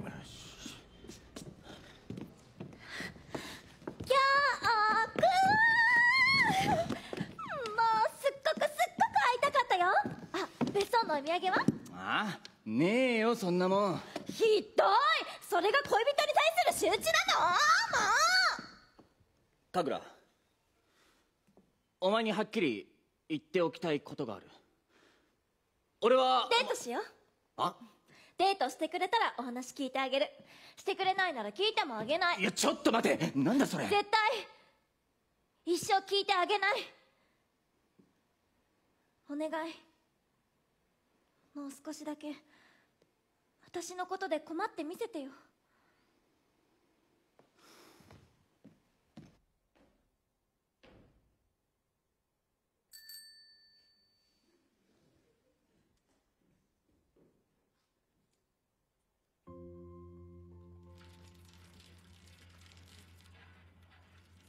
きょうちゃん？猫のきょうちゃんだよね。私はねカグラだよ。ねえ私が一緒に遊んであげよっか。本当？うん本当。今日から私が一緒にいてあげる。ずっとそばにいてあげる。止めて。子供の頃の思い出の場所。私たちもよくこっそり家を抜け出してこの公園に遊びに来たよね。私が京くんの本当の姿見ちゃった場所。その地図をつけさせてって。京くん嫌がったのに。私ね。私。もののけつきで生まれたこと。悲しかったよやっぱり。私のせいで両親が喧嘩するたび。その後ママが一人で泣いてるのを見るたび。悲しかった。自分がたまらなく嫌だった。不安だった。だから京くんと初めて会った日。嬉しかった。安心した。猫つきに比べれば私は全然不幸なんかじゃない。この子に比べればそう実感できると知ったからだから一緒にいたの。ずっと京空を見下してたんだ。ひどいよね。私は汚い。あの日逃げ出した自分心から怯えた自分たまらなく汚く思えて嫌だった。やり直したかった。なかったことにしてほしかった。だから京くんを好きになれば京くんとの距離を縮められれば京くんが私を好きになってくれれば逃げた自分も汚い自分もなかったことになるんじゃないかって思ったの。つりつま合わせの恋だったの。分かったんだよ。あの子が京くんを追いかける姿を見て。私はいつだって自分のためだけに京くんを追いかけてた。ごめん。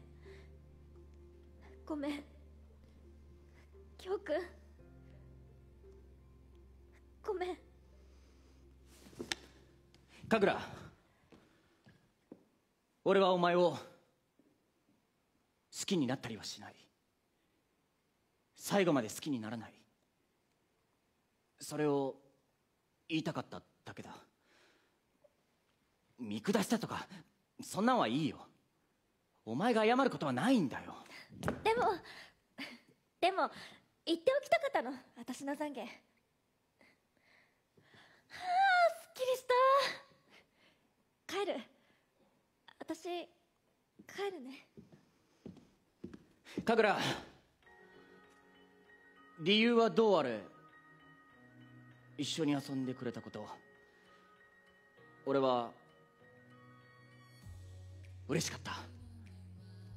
ありがとな。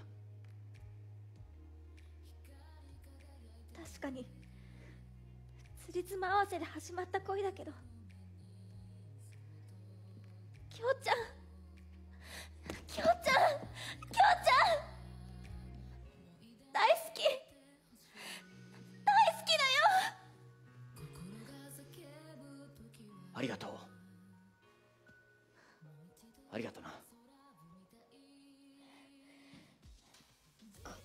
い気持ちも嬉しい気持ちも私だけのものだよ。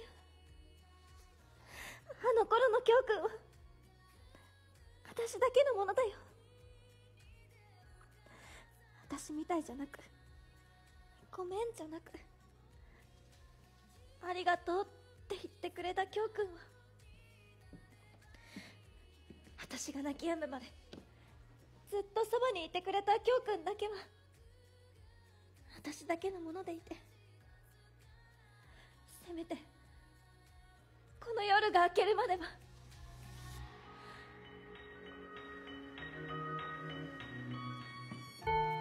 ああ休みも終わっちまったな。早かったですね。もっと食べたかった。屋台の焼きそば。たくさん食ったろ。あうわりゃーくっそーお前休み中にまたでっかくなったらいいよな男はニョキニョキ伸びてな。てめえは休み中も女らしくなれなかったみたいだな。あ？いっそ女捨てろや。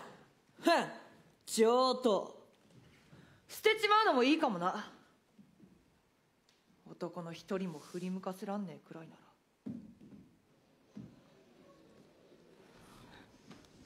おちゃん。さしてあげて。アリサ結局コンビニの君と再会できずにいるのよ。んじゃあリーダー一言どうぞ。会長の相馬由紀です。生徒会の仕事は皆が協力し合わなければ動いていけないと思います。俺は会長として至らないところはたくさんあると思うけど努力は怠りません。なのでみんなのみんなの力を貸してください。いいっすよしゃあ楽しく仲良くやっていきましょうぞよ！生徒会の面々は問題児の集まりのように思える。一年会計の倉木町は節目がちで極端なほど口数も少ない。でもおら！2年副会長真鍋翔の問題児ぶりは際立っていると思う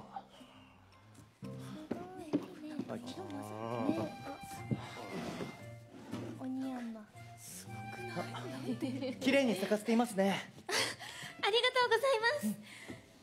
一通り回って時間があればお手伝いに来ます。あの会長あの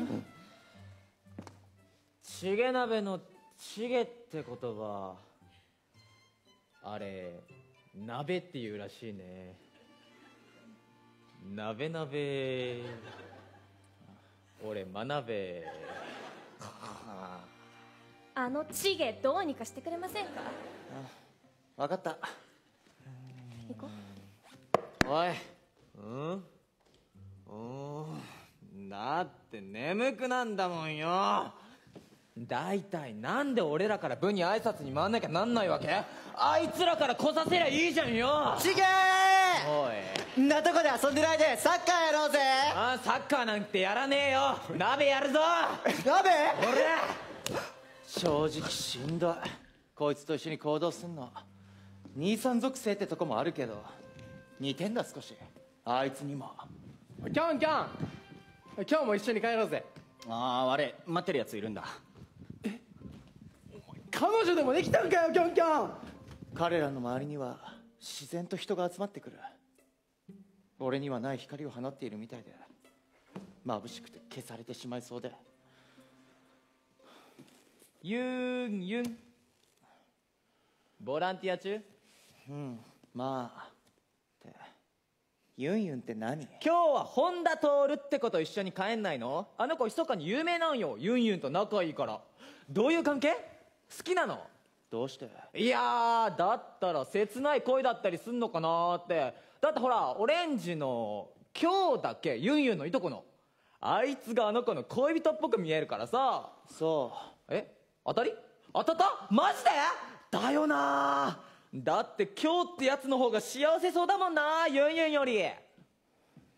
じゃあ俺は不幸。は？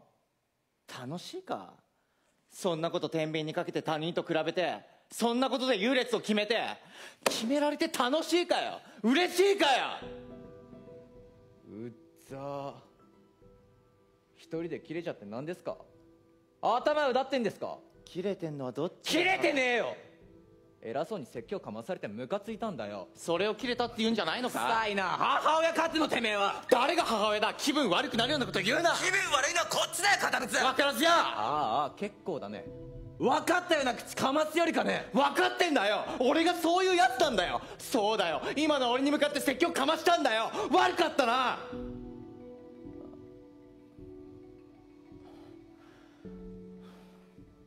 そうだな。切れたのは俺の方だ。ごめん。一番の問題児は俺だ。俺が戦うべき敵はいつも俺の中にいる。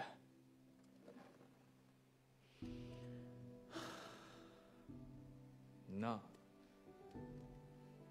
どこに立てば俺にも同じもんが見れる。同じ目線で傷つける前に同じ気持ち理解できる。え？いいよな。いいなユキは。分かってさ。俺も言い過ぎた。ごめん。さあ！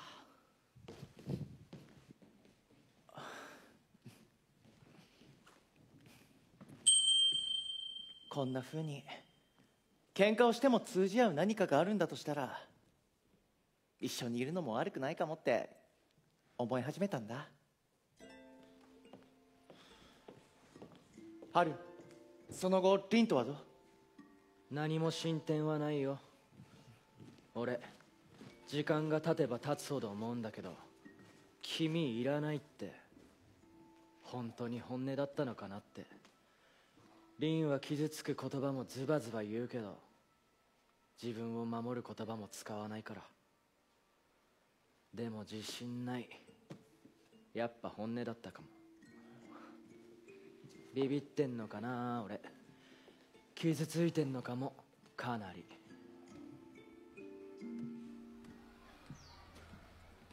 リン本気で春を振ったのか？春から聞いた。二人が付き合ってたこと。俺思い出したことがある。俺がまだあの部屋にいた頃春と二人で訪ねてきた時あっただろう。今思えばあの頃俺の部屋に入るのを秋人が許すはずないんだ。でも春は会いに来てくれた。そんな春を凛は守ってたんだろう。誰かが近づく気配がしたらすぐ別れをじっと見張って春が怒られたりしないように。あの頃は分からなかったけど今も凛は何かから春を守ろうとしてるんじゃないのか？バカらしい。春のことだって本気でどうでもいいんだよ。一斉お前なんでグレニーの家に住めることになれたか知ってるのか？春が頼んだんだよ。ユキを助けてやってくれって。その時先生って呼ぶならいいよって。ふざけて言ったグレニーの言葉を春はバカみたいに守り続けてる。春？でも一番のバカはお前なんだよ。バカはバカらしく学校生活でも何でものんきに過ごしてればいいんだよ。二度と私に構うなクソったれ。クソったれはどうかな？クソったれ呼ばわりは良くないだろリン近寄らないで。本当に俺はいらないんだ。そっか。じゃあもういいや。俺もう死んだっていいや。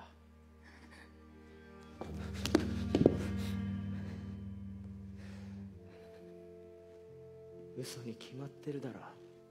死ぬなんて。リン俺リンのこと何も分かってなかったか？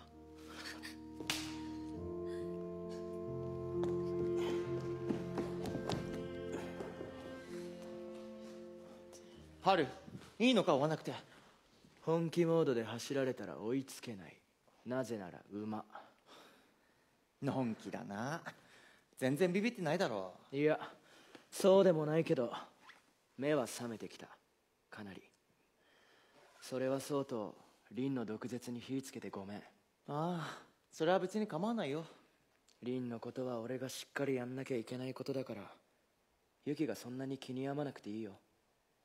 ユキだってしっかりやらなきゃいけないこと他にあるだろ。例えば生徒会とか。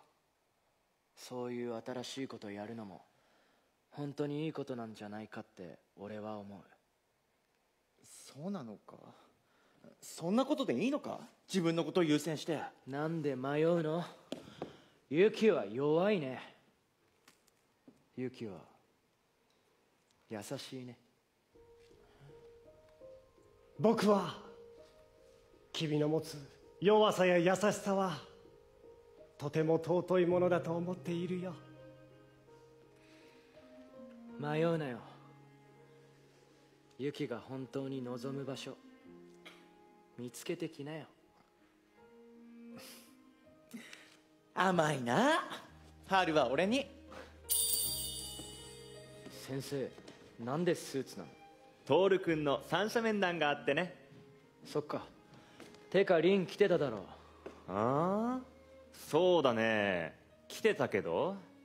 なんでそう人を試すような言い方するかな。モテないよ 知ってる。君ら若いっていいね。生き方が拙くて溺れないよう必死にもがいて力を抜けば浮くのにね。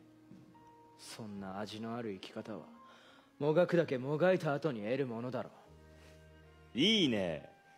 じゃあハルくんももがいてください。元彼女なんだし。気になることは本人に直接どうぞ。口止めされてる。それなりには守ってあげないとね。ハニーって呼んだら教えてくれる？だ ごめんそれめっちゃ嫌。ほんと君面白いわ。それそれだよまゆちゃん。ナイス嫌な顔そんなわけで三者面談が始まったわけなのですが。お忙しい中代理ご苦労様です。思いやりあふれる方なんですね。そんな人として当たり前のことをしたまでですよ。何でしょう。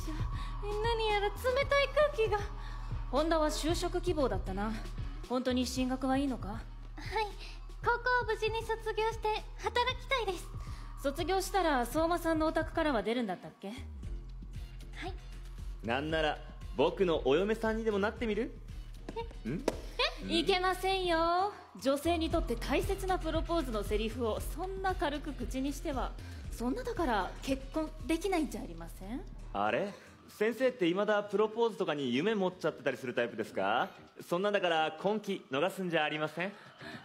何でしょうえ何やらもうダイヤモンドダストが。ホンダああごめんなさい。とりあえず就職ってことで進めていこう。でも時間はまだあるからじっくりな。はい。よろしくお願いいたします。ホンダあまり何でも背負い込むなよ。トール君ごめんね。先に出てくれる？別口で先生とお話ししたいことがあるから。い。やーそれにしても眉の先生っぷりにはちょっと惚れ直しちゃったかな。もう少し大切にしなよ。ホンダは聞き分けがいい分何でも背負いかねないタイプなんだから。それは僕の役目でもないだろどうせ好きなやつにも優しくしてやらないだろ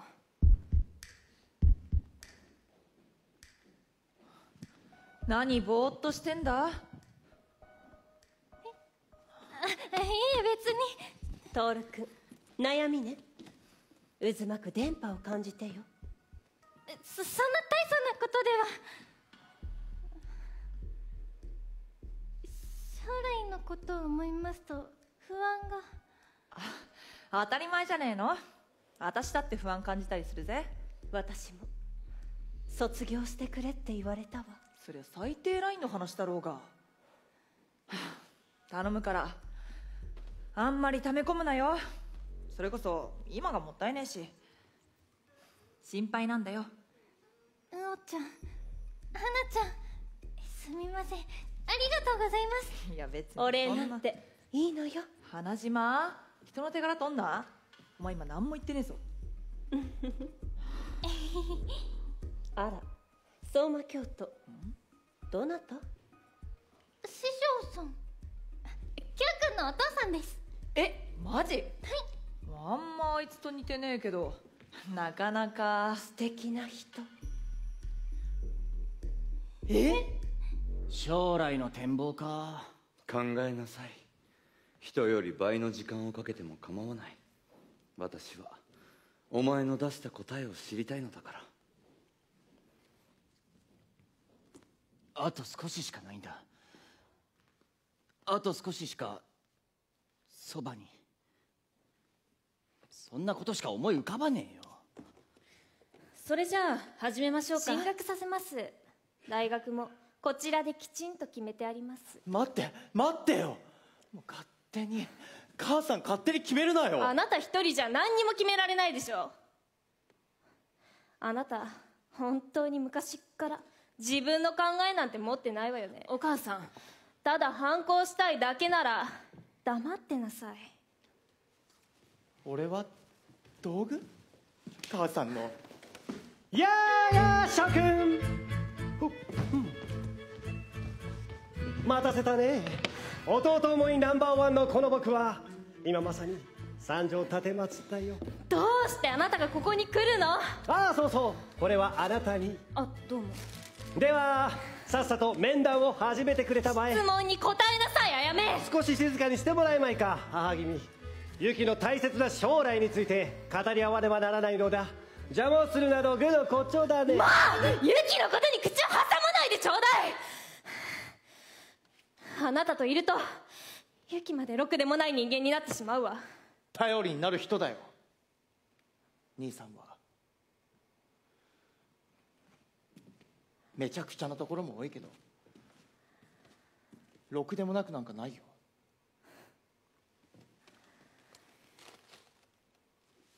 は？羽鳥に報告するのはやめろ。そうかい？いつの間にあなたたちそんな。わからないのかい？ユキはねやり直すチャンスをくれたんだよ。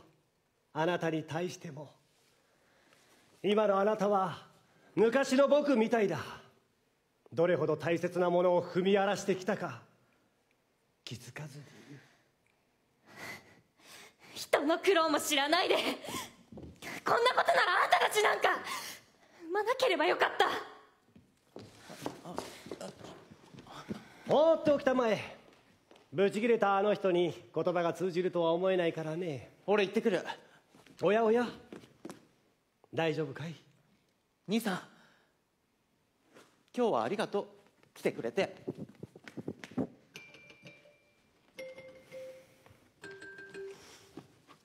聞いてくれたまえ鳥さん。ユキがね。あのユキが。本当に来るとはね。ああ。うちの母君は面白い人だろ。この僕の天性な王の気質に全く順応できずにいるのは不幸と言わざるを得ないね。だからこそ母君の期待は根こそぎユキに行ってしまった後悔が先に立ってくれればいいのに。でも頼りになるって。母さん待って待ってよ。あなたこのままだと人生台無しよ。俺はこの世界で努力したいって思ってる。その結果があなたにとっては気に入らないものになるかもしれないけど俺にとっては誇りに思えるようにだから俺の人生を勝手に決めつけて終わりにしないでほしい。進学はするよ。でもどこを受けるかは自分で考えて見つけるから。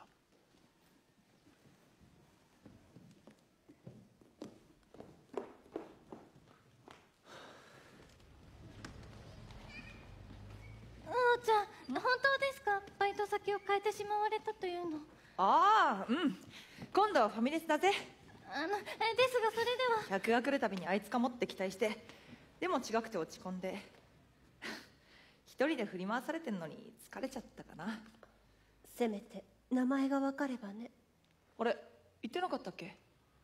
クレノさんって言うんだよ。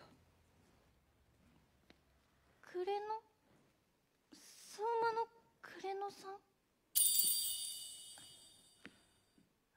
ここにさんが大切な人が思い悩んでいていても立ってもいられずここに立っているわけですが考えなしですよね。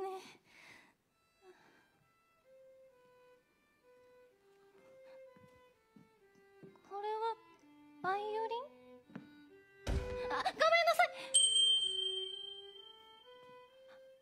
あなたはもみじくんの妹のももさん？いけません。ももさんはもみじくんとご兄弟ということをご存知ないのです。お姉ちゃん知ってる？もみじ友達会いに来たの？はい。仲良くさせていただいて。中入れないでしょ？え？ももが案内してあげる。こっちこっち。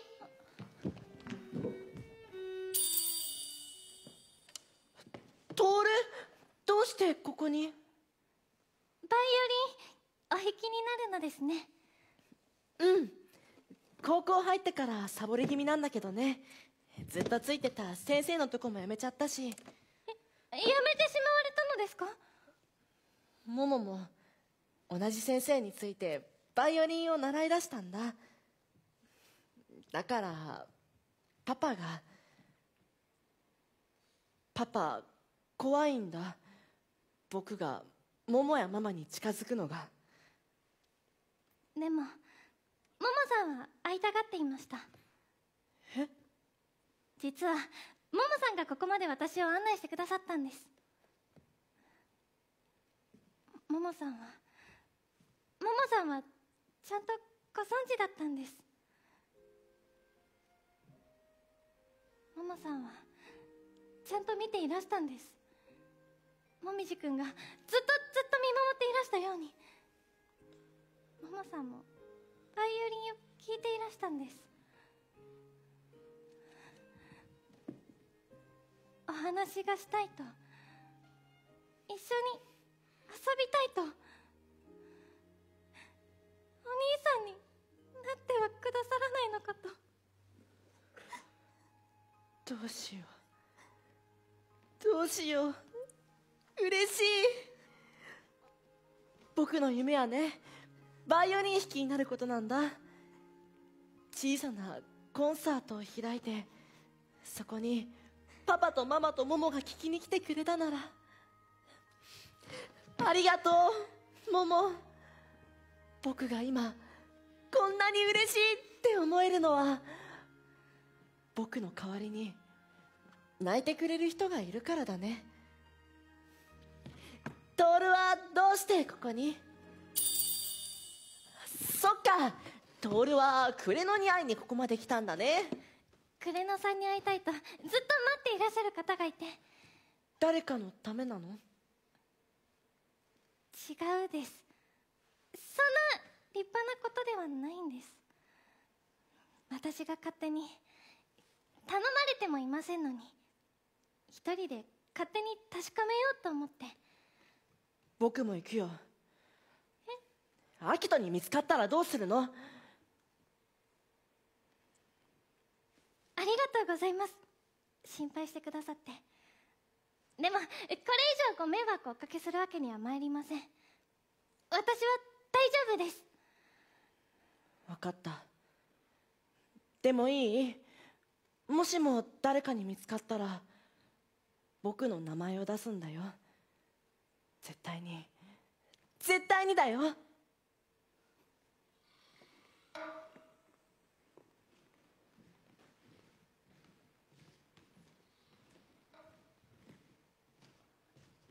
みじくんによるとここ左ですね。誰？誰かいるの？アキトさん。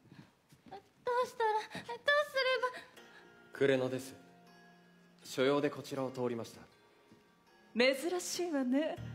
お茶でも飲んでったらどう？いえもう戻らないと。アキトに心配かけますので。そう？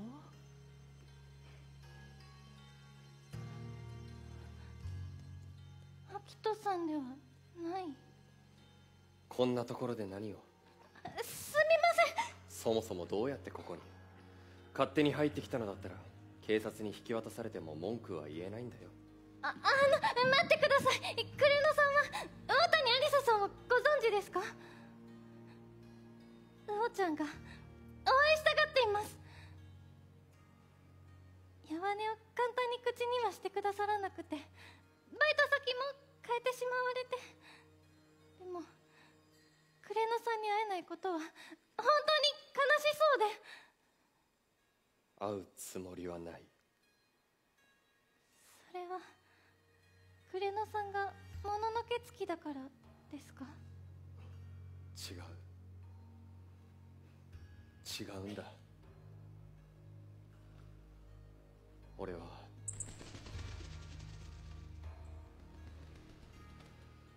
君には関係のないことだよ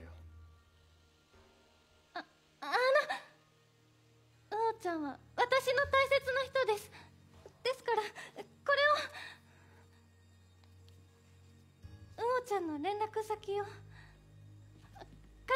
連絡をしなくてはいけないって言いたいんじゃないんです。ただ明日はどうなるかわからないから。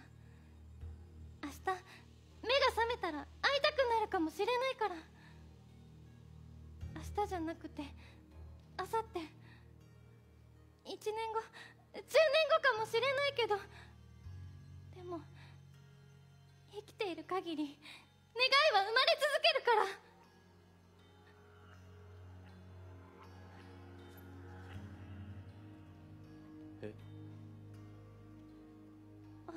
話以上です。あいにく手錠は持ってないんだ。いいよ。見逃してあげる。心配している人もいるみたいだし。もみじくん。君のような子がこんなところにいてはいけない。さようなら。もみじくん今日は今日は本当にご迷惑をおかけしてしまい。どうして？僕全然迷惑じゃないよ。モモのこと教えてくれたもの。僕嬉しいものお礼したいもの。そうだ今度トールのためだけにコンサートとか開いちゃおうか。トールの好きな曲を弾くよ。好きな。願い。星に願いよ。トール好きなんだ。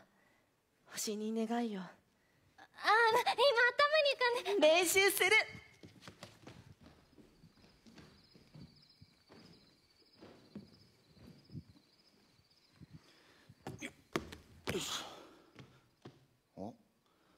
珍しいな。お前が屋根の上に上がるなんざ。今日は探検でもしてたのかやたら汚して帰ってきたろ。はい。最低限のことしかできなかったです。あ？好きな人とは一緒にいたい。そばにいたいですよね。何？お前好きな男でもできたのか？あ違う。あの私の心配すんな。お前にそんなんができた時は協力してやっから。俺が。はい。ありがとう。おい何泣いてんだ？あわかりません。なぜだか急に涙がパタパタと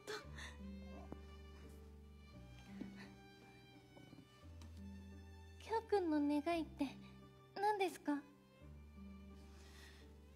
誰かさんが泣き止んでくれること。はい。よし。よっ。行くぞ。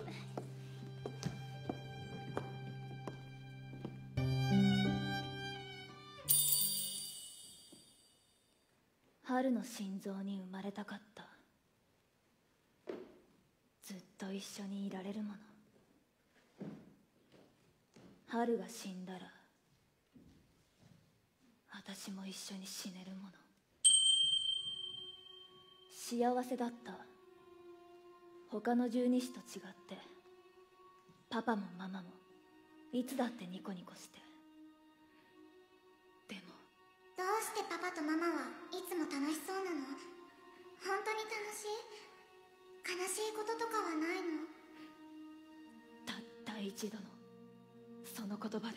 誰のためだと思ってんのよ。誰のために毎日毎日努力して。お芝居は終わってしまった。外から見えない場所に多くの傷があります。もしかしてご両親に？いいわよ。もう帰ってこなくて。ママパパ。置いていかないで。うるさい。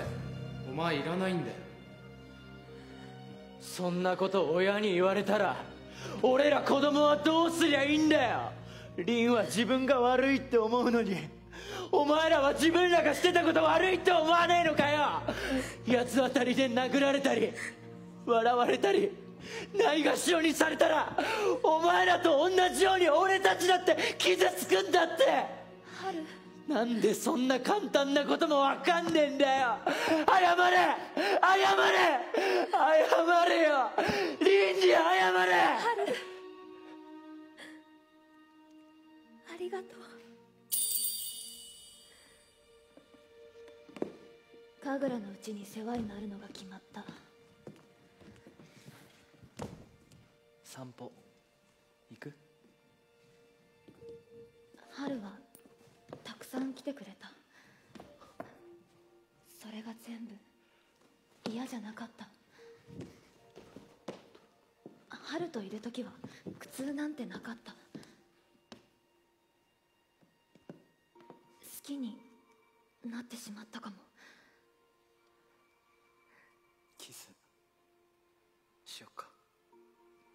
なんで？好きだから。ダメだよ。アキトが怒るよ。俺はリンを望む。リンは俺を望まない。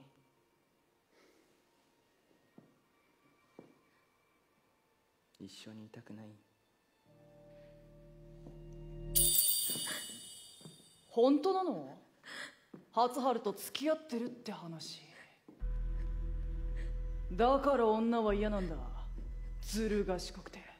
その黒くてずるずる長い髪も。気持ち悪い。それでどっちが先にそそのかしたの？どっちが僕の不況を買う？僕さ怒ると周りがよくわからなくなるんだ。羽鳥の左目は災難だったよね。私私だ。私がそそのかしたに決まってるなら！お前ずうずうしいよ。どうして僕のものに手を出すんだよ。お前ダメだね。全然ダメだ。お前のどす黒さは初春を食い潰すよ。思い知れよ。お前なんかただの数合わせなんだって。お前いらない。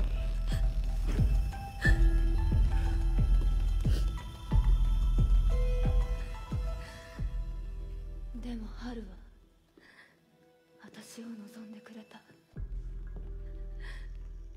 いらないって言われてきた私を。私幸せだった。ありがとう。でも春今度は春が幸せにならなくちゃ。私から秋人から全てのしがらみから解放してあげたい。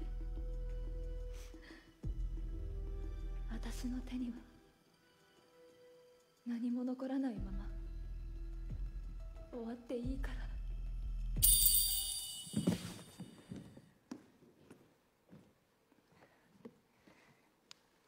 具合はいかがですか？玄関で倒れていらしてアトリさんが来てくださって安静にと。やめろ呪いを解こうとするのはやめろ。お優しい人間はお優しい世界で生きていけばいいんだ。もしかしていすずさんは呪いを解こうとなさっているのですか？そんなのお前に関係ないだろ。いすずさんは解く方法をご存知なのですか？出しゃばるな。口を挟むな。嫌です。嫌です。出しゃばります。ふざけんな。お前嫌ですいすずさんに譲れないものがあるように。私にも私にも譲れないものあります。だから。うるさいうるさいうるさいないんだ。ないんだ。どこにも。方法なんて誰も知らない。こんなんじゃ私。私もうどうしたら。いすずさん。もうどうしたらいいかわからないの。わからないの。何も。できない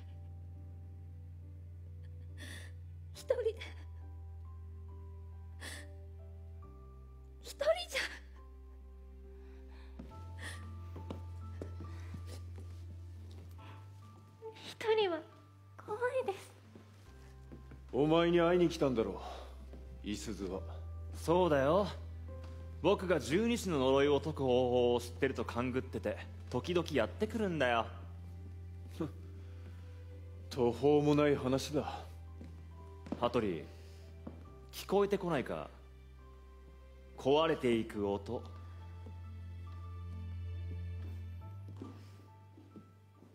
神様と十二使たちは約束を交わした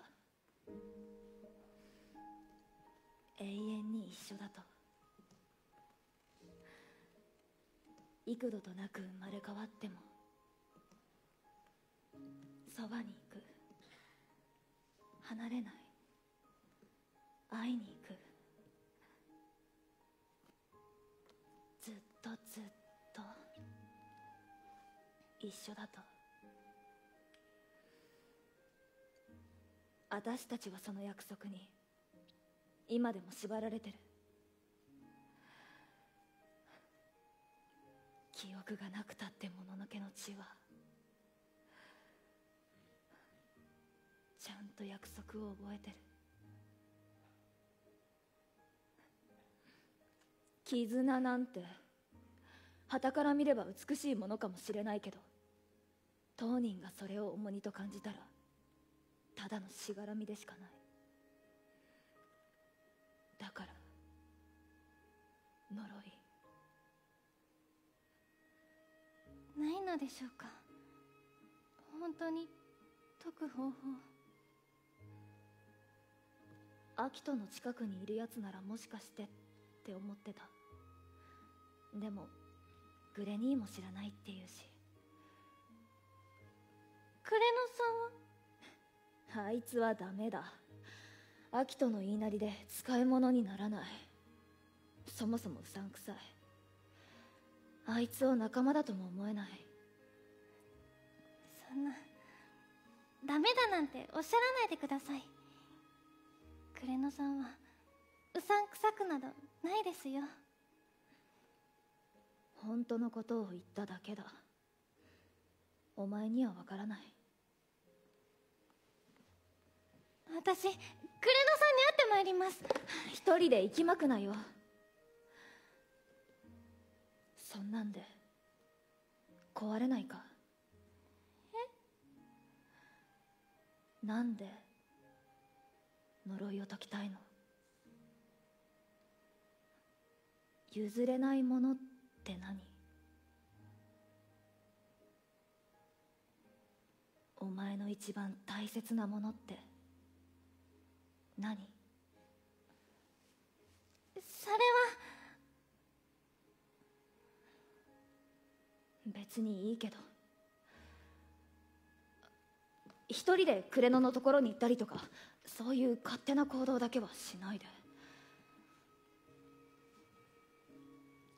いすずさんがお一人で無理をなさらないとおっしゃってくださるならえ？名実ともにコンビの誕生ですね。お前みたいに頼りない相棒なんていらない。え？あの頑張ります。頑張りますこの子の前にも現れたらいい。私には春がいてくれたようにそっと扉を開ける人。そんな人を求めずにはいられないから。一人が怖いと知ってる人は人を愛さずにはいられないから。ユンユンいい加減携帯持てば？うんでも契約には保護者のサインが必要だろ。親もしかしなくても親と不仲？不仲っていうかボタンかけ間違えたまんまっていうかあのさマチって何なの？お前の。妹。兄弟なんすよ俺ら。でも名字が？俺とマチは兄弟だけど母親違うから。俺は長男だけど愛人の子供。マチは本妻の子供だけど一つ年下で女の子。でさ母親同士が熾烈な後継ぎ競争を始めちゃって俺とマチってかなりスパルタ式な教育受けて育ったんだよね。でもさある日なんかおかしくないかって思い思い始めたんだ。ああ俺すっげえくだらんことに巻き込まれてっぞって。やってられっかクソがーって。暴れてやりました。俺の母親も目が覚めたのか。後継ぎ問題からは手引いて俺は晴れて自由の身。でも町はまだ自由じゃないのかもしんないな。俺ん中や親ん中にだってしこりってのがちょっとは残ってんだしな。ボタンかけ間違えてそのまんまって感じ？ユキが言ったようにさ。たくさそもそも考えが古いんだっつうの。痛いけな子供巻き込んで。ほんとしょうもない親でちゅね。それでもやっていかなきゃ。ムカついても呆れてもしょうもなくても。子供は親を取り替えられない。親は子供を取り替えられないように。そこには当たり外れもないんだよ。だったらやっていかなきゃ。そうだね。ボタンかけ直せるように。別にかけ直せなくてもいいやんかけ間違えたままでも様になりゃしゃあねえなって笑えりゃいいじゃんってことにしよう。もう言ってること尻滅裂でよくわかんないよ。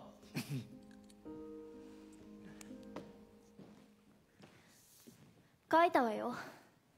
要件って携帯のことだけ。うん。親のサインが必要だったから。ありがとう。ユキ無駄遣いしちゃダメよ。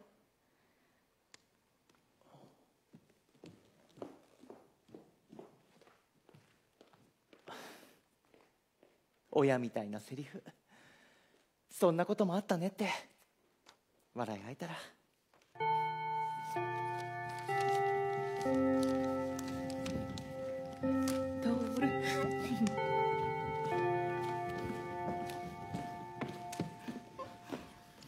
文化祭のクラス演劇はシンデレラに決定しました。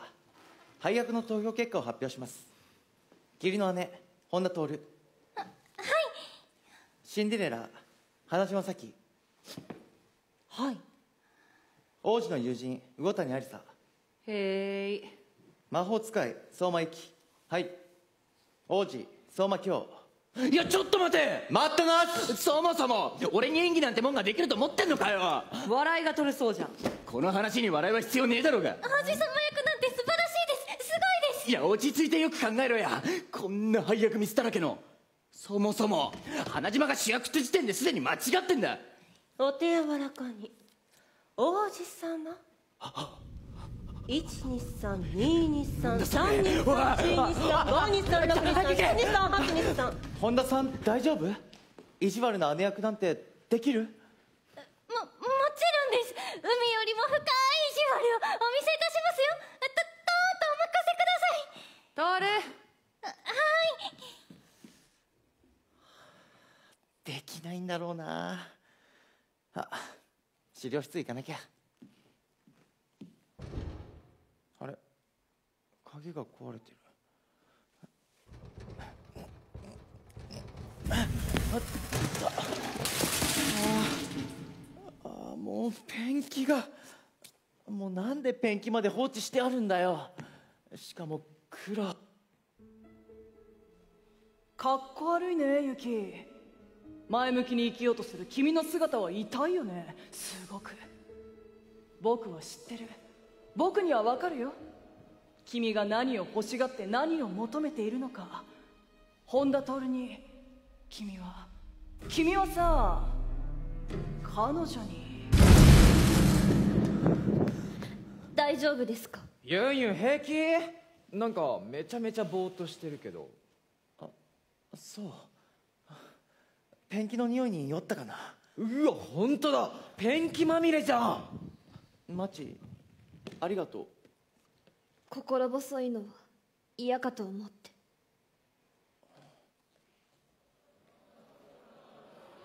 保健室本当行かんでいいの？うん平気。外の空気吸えばよくなるよあんな暗くて狭くてペンキの匂いそこもりゃそりゃ酔うよな。しかも本当に心細かったのかも。痛いことを思い出してた。痛いこと？痛いこと。え？ええちょっとやだユンユン。ワイダン？違うよ。精神的な話だよ。えー、なんだよ。教えてよ。俺バカだから言ってくんなきゃ一生わかんないよまだ誰にも言ってない。本人にも伝えていないことなんだ。情けなくてかっこ悪いことなんだ。俺が彼女に求めていたのは物心ついた頃にはもうアキトのそばにいた。ネズミはね十二支の中で一番偉くて神様に一番近い存在なんだ。つまり僕と一番近い存在なのは君で僕と同じように君も特別なんだ。アキトの遊び相手として一日中外にも出ずに二人で過ごした。でもある日アキトは突然ねじれた。お前は僕のおもちゃなんだよ。お前の母親が僕にくれたんだ。お前捨てられたも同然なんだよ。気づいた俺は他の十二支と口を聞いたこともなかったんだ。ネズミは嫌われ者なんだよ。小学校はとても居づらかった。なるべく他人と関わらないようにしていた。でも友達になろう。行こうぜユキ。嬉しくてどうしようもなく嬉しくて浮かれていたんだ。女の子に注意を払うのを忘れていた。あ大騒ぎになって結局友達の記憶を隠蔽することになった。だから言ったろ？勘違いするなって。お前ネズミだろ。許さないからな。俺はお前を絶対許さないからな。ネズミのお前が全部悪いんだ。お前のせいで。お前がいるせいで全部。お前なんかこの世からいなくなればいいんだ。猫付きの今日の母親ってさ自殺してるんだよ。何年か前に表向きは事故死になってるけど遺書まがいのものも残ってたらしいしそばにいるのが辛くなったとかせめてネズミ付きの子で生まれていたら少しは幸せだったろうかとか。今日葬式の席でユキを殺して俺も死んでやるって言ったんだよ。ユキって本当に嫌われ者なんだね。返さなきゃ。でもきっと受け取ってもらえない。あの子の悲しみを僕は知らない。何も知らない。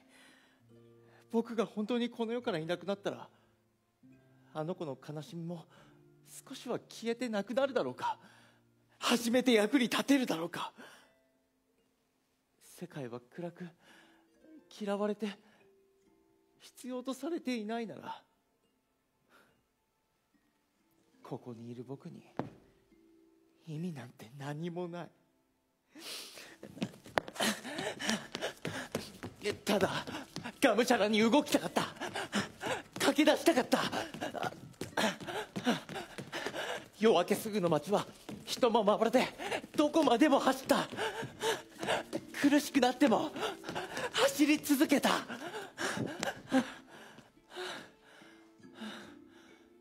そうしてたどり着いたのは大事な一人娘が行方不明なんだぞ。早慶官に訴える誰かのお母さん。そしてうずくまって泣いている女の子。どうしよう。女の子に近づかれるのは。でも今この子の世界は僕に託されてる。もう迷子にならないよう必死に僕を追いかけてる。頼ってる。僕を僕を必要としてくれてる。僕は女の子を家まで連れて行った。ほら着いたよ。頑張ったね。誰かが僕を必要としてくれた瞬間は確かにあった。君が忘れてしまっても頑張ってみようって思ったんだ。暗闇だけじゃない。頑張って生きてみようって。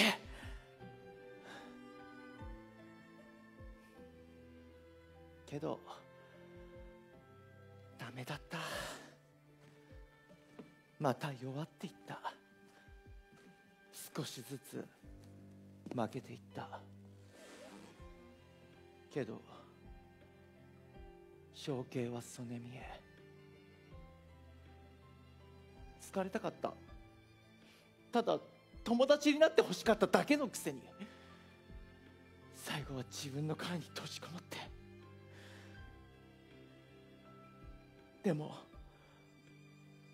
こんなどうしようもない俺の前に彼女はもう一度現れた。近くにいてこんな俺の言葉を聞いてくれた。呆れるでも叱るでもなく何度も何度も何度も受け止めてくれた。愛しい人あの空のように近く遠いお母さんみたいに。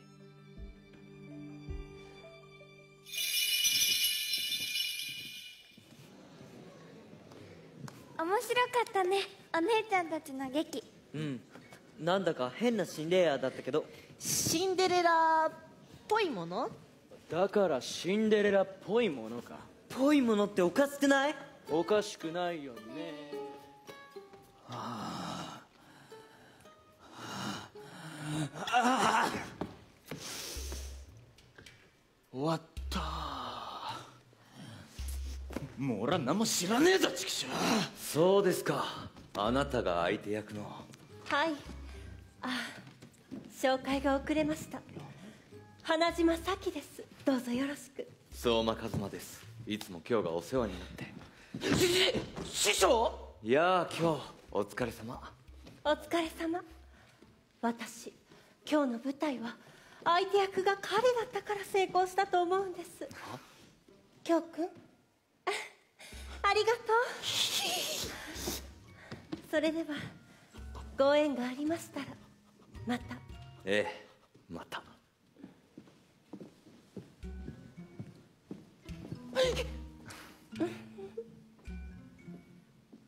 可愛らしい同級生だね。師匠結婚しないでくれ。なんだい突然そんなこと言って。あ徹さんにも挨拶しに行きたいんだがどこにいるかわかるかい？知らねえ。そんないつも把握してるわけじゃねえし。そうか。別に今日でなくてはいけないわけじゃない。そろそろ行くよ。あーちょっと待って。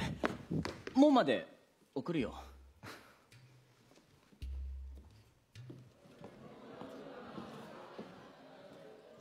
あれ？もう着替えたのか？はい。じゃあ私も着替えてくるわちゃん。ん？かっこよかったです。おうサンキューな。クレノさんにも見ていただきたかったです。お疲れトール劇面白かったよ。ありがとうございます。キサさんヒロさんもいらしてくださって嬉しいです。お姉ちゃん可愛かった。そんなえもったいないお言葉です動画にちゃんと撮ったから DVD にしてまたみんなと見ようね。もみじくんできましたらその DVD を一つ。いいよ。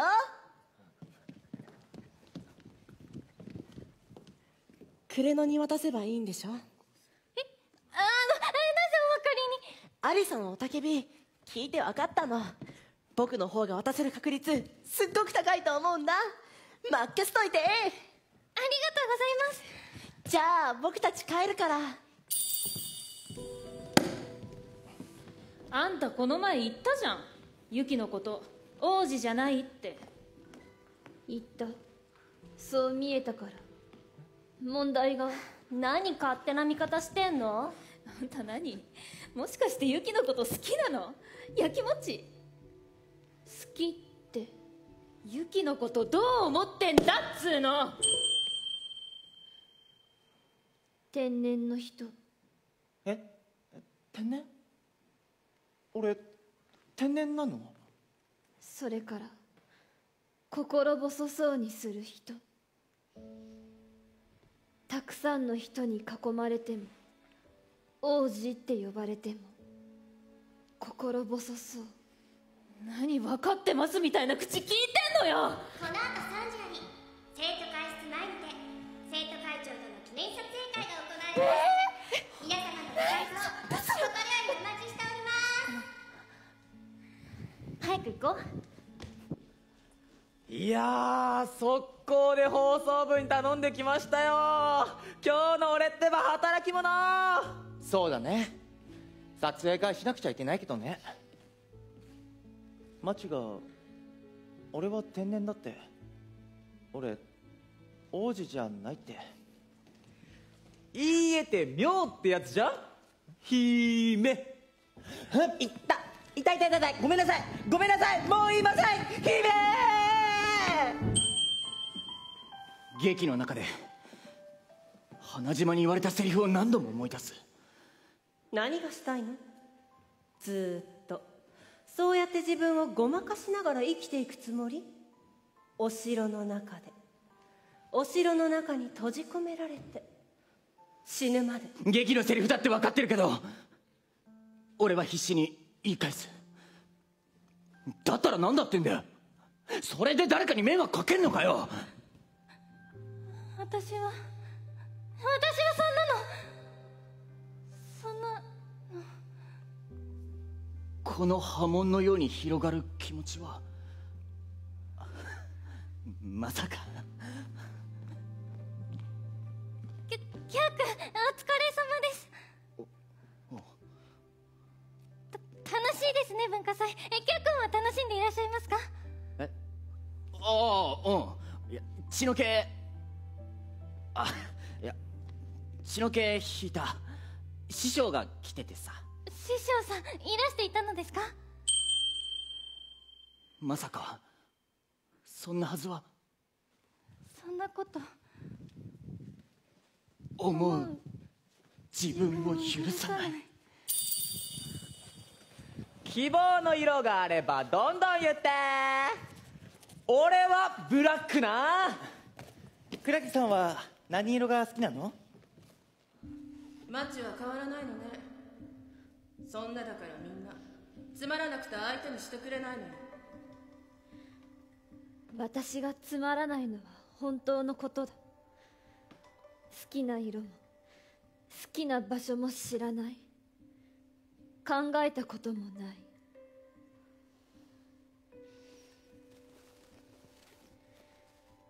あの人がくれた修学旅行のお土産。心細そう。特別扱いされるたび寂しさがあの人を蝕んでいくように見えた。でも今は心から楽しそうに笑っている感じ。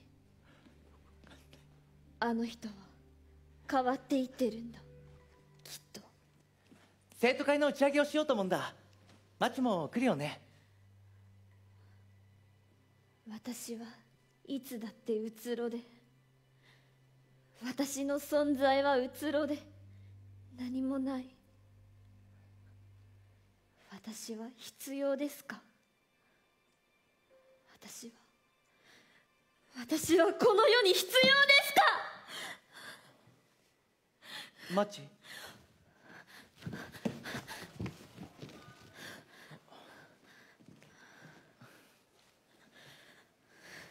これって俺が修学旅行のお土産で渡したもみじ？返して！違うもみじだった？違います。あそっか。あごめん。そんなわけないよね。違わないこともない。どっち？別に深い意味なんかありません。ただ捨てるのもなんだと思ってしおりに。ありがとう。何が？大切にしてくれてるから。嬉しい大切になんかしてませんえーでもだってしおりに。本に挟みまくってるだけで大切にしてるわけじゃないです。でも気に入ってるから使ってくれてるんだろ？気に入ってなんかいません。大きくて使いにくい。返します。いや返すなよ。マチはもみじが好きなの？知らない。じゃあ赤が好き？質問の答えやっともらえた覚えてた。変な人。びっくらした。あんな街初めて見た。え？いや真っ赤になって怒ってたじゃんさっき。ああ。うん。可愛かったね。天然姫親父来たもうわけわかんないよお前。ほい。ありがとうございます。気ぃつけろ。はい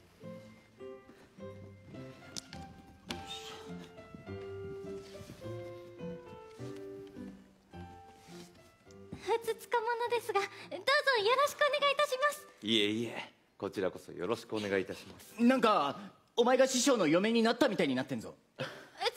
誤解です。それに師匠さんには花ちゃんという素敵な 決めんなそういうことを勝手に。もうすぐ新年。今年の年末年始は師匠さんのお宅にご厄介になります。ゆきくんが大晦日一晩だけ本家に帰ると言ったのがきっかけでした。あそうそう。あの子がいることも伝えておかなければいけないな。美鈴さん！いきなり飛び込んでくるなこのバカ！えすみません。お前が来るなんて聞いてなかった。気分悪い。俺後先考えずに突っ込んでくなよ。今日は睨み合いをしないんだね。しねえよそんな。ガキの頃の話じゃん。十二支の宴に参加したくなかったらしくどこかへ行こうとしている風でしたので声をかけたんです。宴もう始まってんだろうな。とっくに。ゆきくんたちは今頃何を思いながら宴に参加なさっているのでしょう？鳥さん鳥さん。素晴らしい舞だったよ。あえて具体性を持たせるのであれば抱かれたいね。これ以上やるせない気持ちにさせないでくれないかお疲れはーさん。昨日重たい舞が終わってよかったね。次の年も担当だけどね。黙れ。そう友。次はこの僕とさ。ほら二人揃って。抱かれたいさ。いつまでもバカやってないで戻ってろ。おやこれは鳥さんの。そうかい。じゃあこの鳥さんの羽織をお布団代わりに今日はこの辺りで少し休むとしようじゃないか。では失礼。メスは はーさんダメだよ。あいやこんなところで寝たら風邪ひくよ。はい。ほらあっち行って。じゃああっちで休むとしようじゃないか。はあ鳥さん。お前もさっさと戻らないとアキトが寂しがるぞ。何それ嫌味？アキトは暮野くんとユキくん両手に抱えてご機嫌でしょ？ユキは辛いかもしれない。あのさそれって心配しすぎ。あーでもそっか羽鳥はユキに負い目があるから余計にかお前には負い目も心配もないから安心しろ。わーいって嘘。ないの？あれ？今回は逃げなかったね。嬉しい。僕のところへ帰ってきてくれて。だから僕は君を許してあげる。これからはもっと会いにおいでよ。俺もアキトを許すよ違うな。許す許さないの問題じゃなくて俺誰かのせいにするのはもう嫌だ。俺にだって悪いところや改めなきゃいけないところがたくさんあるんだってことを自覚しなくちゃ。誰かの何かのせいにしてたらいつまでたっても変われない。何？何？その目アキト。謝れ。謝れよ。謝れ。ごめん。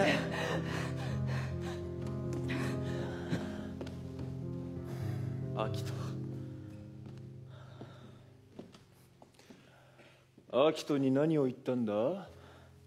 別に。ただ誰かのせいにするのはって。あ俺羽鳥にも謝らないといけないことあった。子供の頃のこと。心の中で。羽鳥を責めていたのかもしれない。ずっと。お願い。お願い。消さないで。友達。友達なんだ。初めてできた。ごめん。子供で。羽鳥だって傷ついてたのに俺のことはいいお前が謝る必要もない。お前は優しいな。ありがとう。ああそうだ。兄には絶対似るなよ。似ないよ。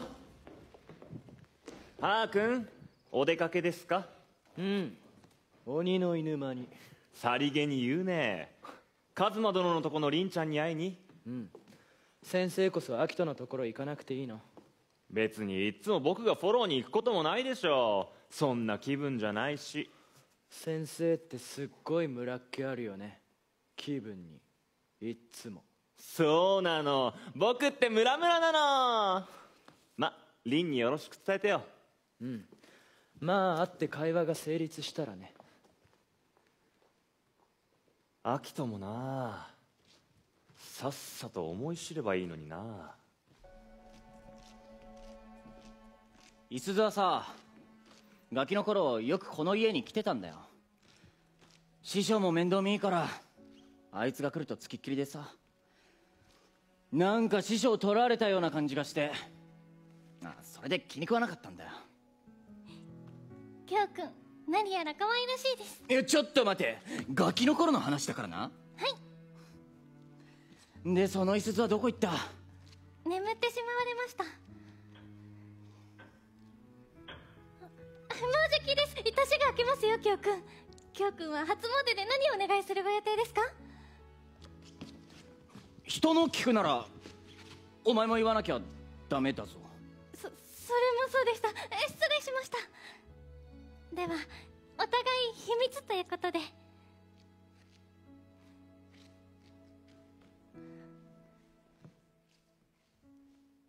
去年はゆきくんときょうくんが仲良くなってくださいますようお願いをしました。でも今年は呪いを解くことができますよう幸せが訪れますよくれのプレゼントトールから。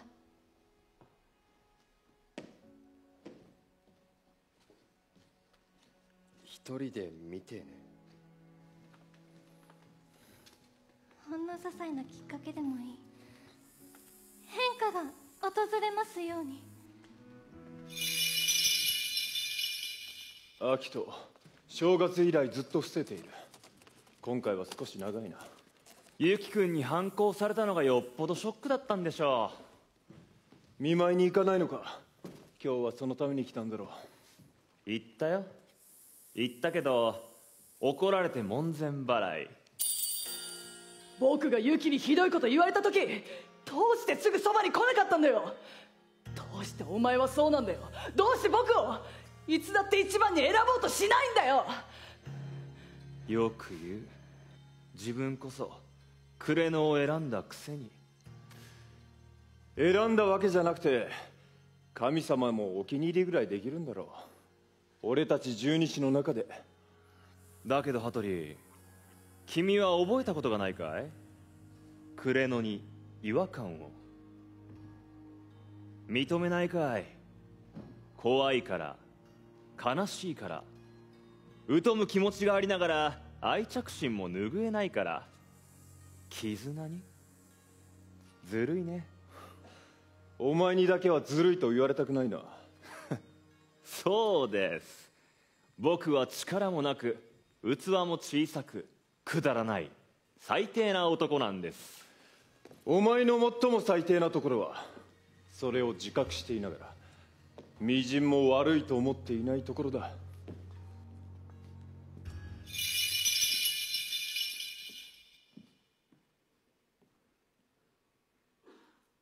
そんなんじゃ会いたくても会えない奴はどうすりゃいい？会いたいのに会いたいのに会いに来いこら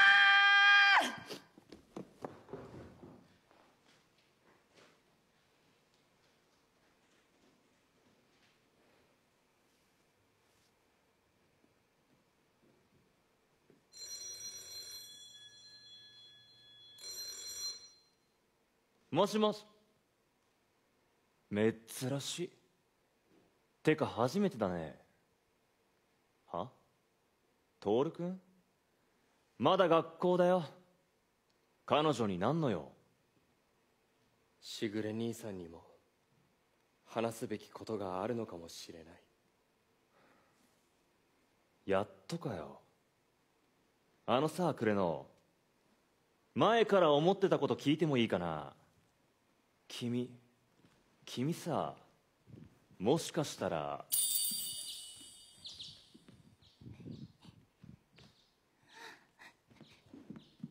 すずめさん。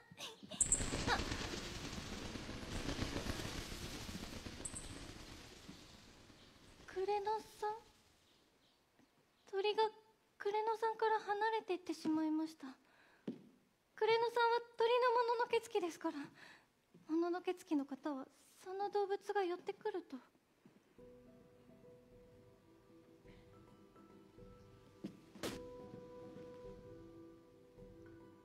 以前に抱きつかれると。変身してしまう。俺はもう違うんだ。変身もしない。俺の呪いはもう解けてる。今の君よりもう少し若かった頃に。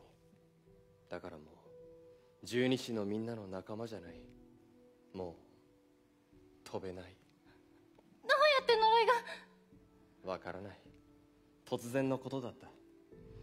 何の前触れもなく呪いは解けた。急に視界が開けた気がして。自分の中には自分しかいなくて。追い立てるものもなくて。空は青かった。あの空をもう飛ぶことはできないんだって思ったら。悲しくて。嬉しかった。人になれた気がした。ようやく。けれど他の十二支の皆さんはクレノさんを鳥だと思っていらっしゃる。クレノさんもアキトさんのそばに。クレノさんはまだ何かから解放されずにいらっしゃるのですか？ごめん。君からのプレゼント無駄にしてしまう。それを伝えに来たんだアリサとは会わないよ。俺はこれからもアキトのそばにいるから。たった2回だ。アリサと会って話をしたのはこのまま会わずに終わればただの些細な思い出になっていつか消えてなくなる。それだけのことだ。だから君ももう気にせず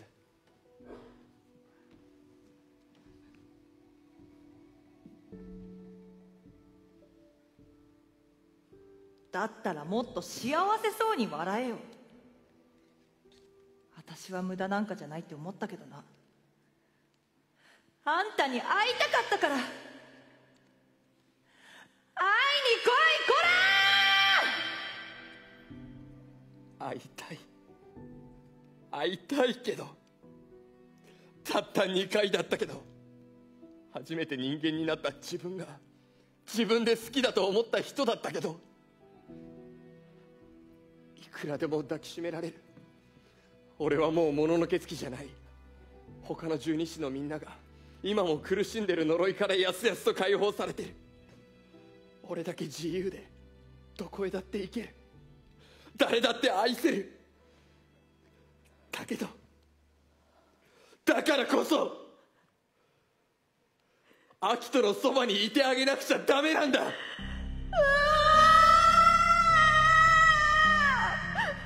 どうして？どうして？どうして？どうして溶けたんだよ？どうして？絆なのに。俺にもわからないよ。突然のことで。突然？何が起こったのか。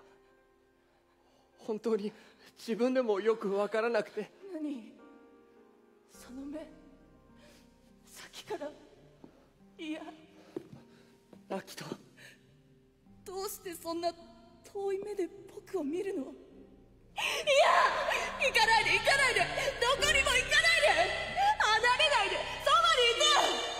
離れないで。僕のそばにずっといて。僕を置いていかないで。僕を僕を。僕を見捨てないで。くれなアキトにとって俺たちとの絆は全てなんだ。神様は十二支がいないと成り立たない。だから誓った。そばにいるって。他の十二支のみんなを騙して鳥に疲れたままのふりをしてそれであの子が泣かずに済むなら。同情したの？だってもう呪いは絆はないんだろ？突き放すべきだったんじゃないかい？アキトさんのために。その時も今も突き放すなんてできない。あの頃感じた絆ももうなくしてしまったけど哀れみから抱いているだけなのかもしれないけど突き放せない。誓った。誓ったんだ。そばにいるって。あの子が俺を必要としなくなる。その日までずっと。壊れそうなほど泣いてすがった。あの子のために生きていこうって。誰よりも弱くて誰よりも脆くて臆病なあの子のために悲しい女の子のために。女の子？あと少し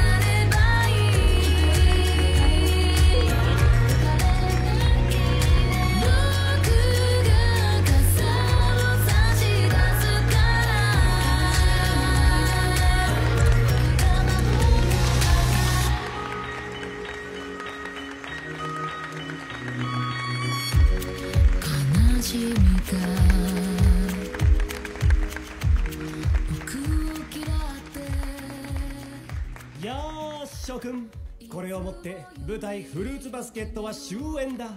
どうだったかな？楽しんでもらえたかな？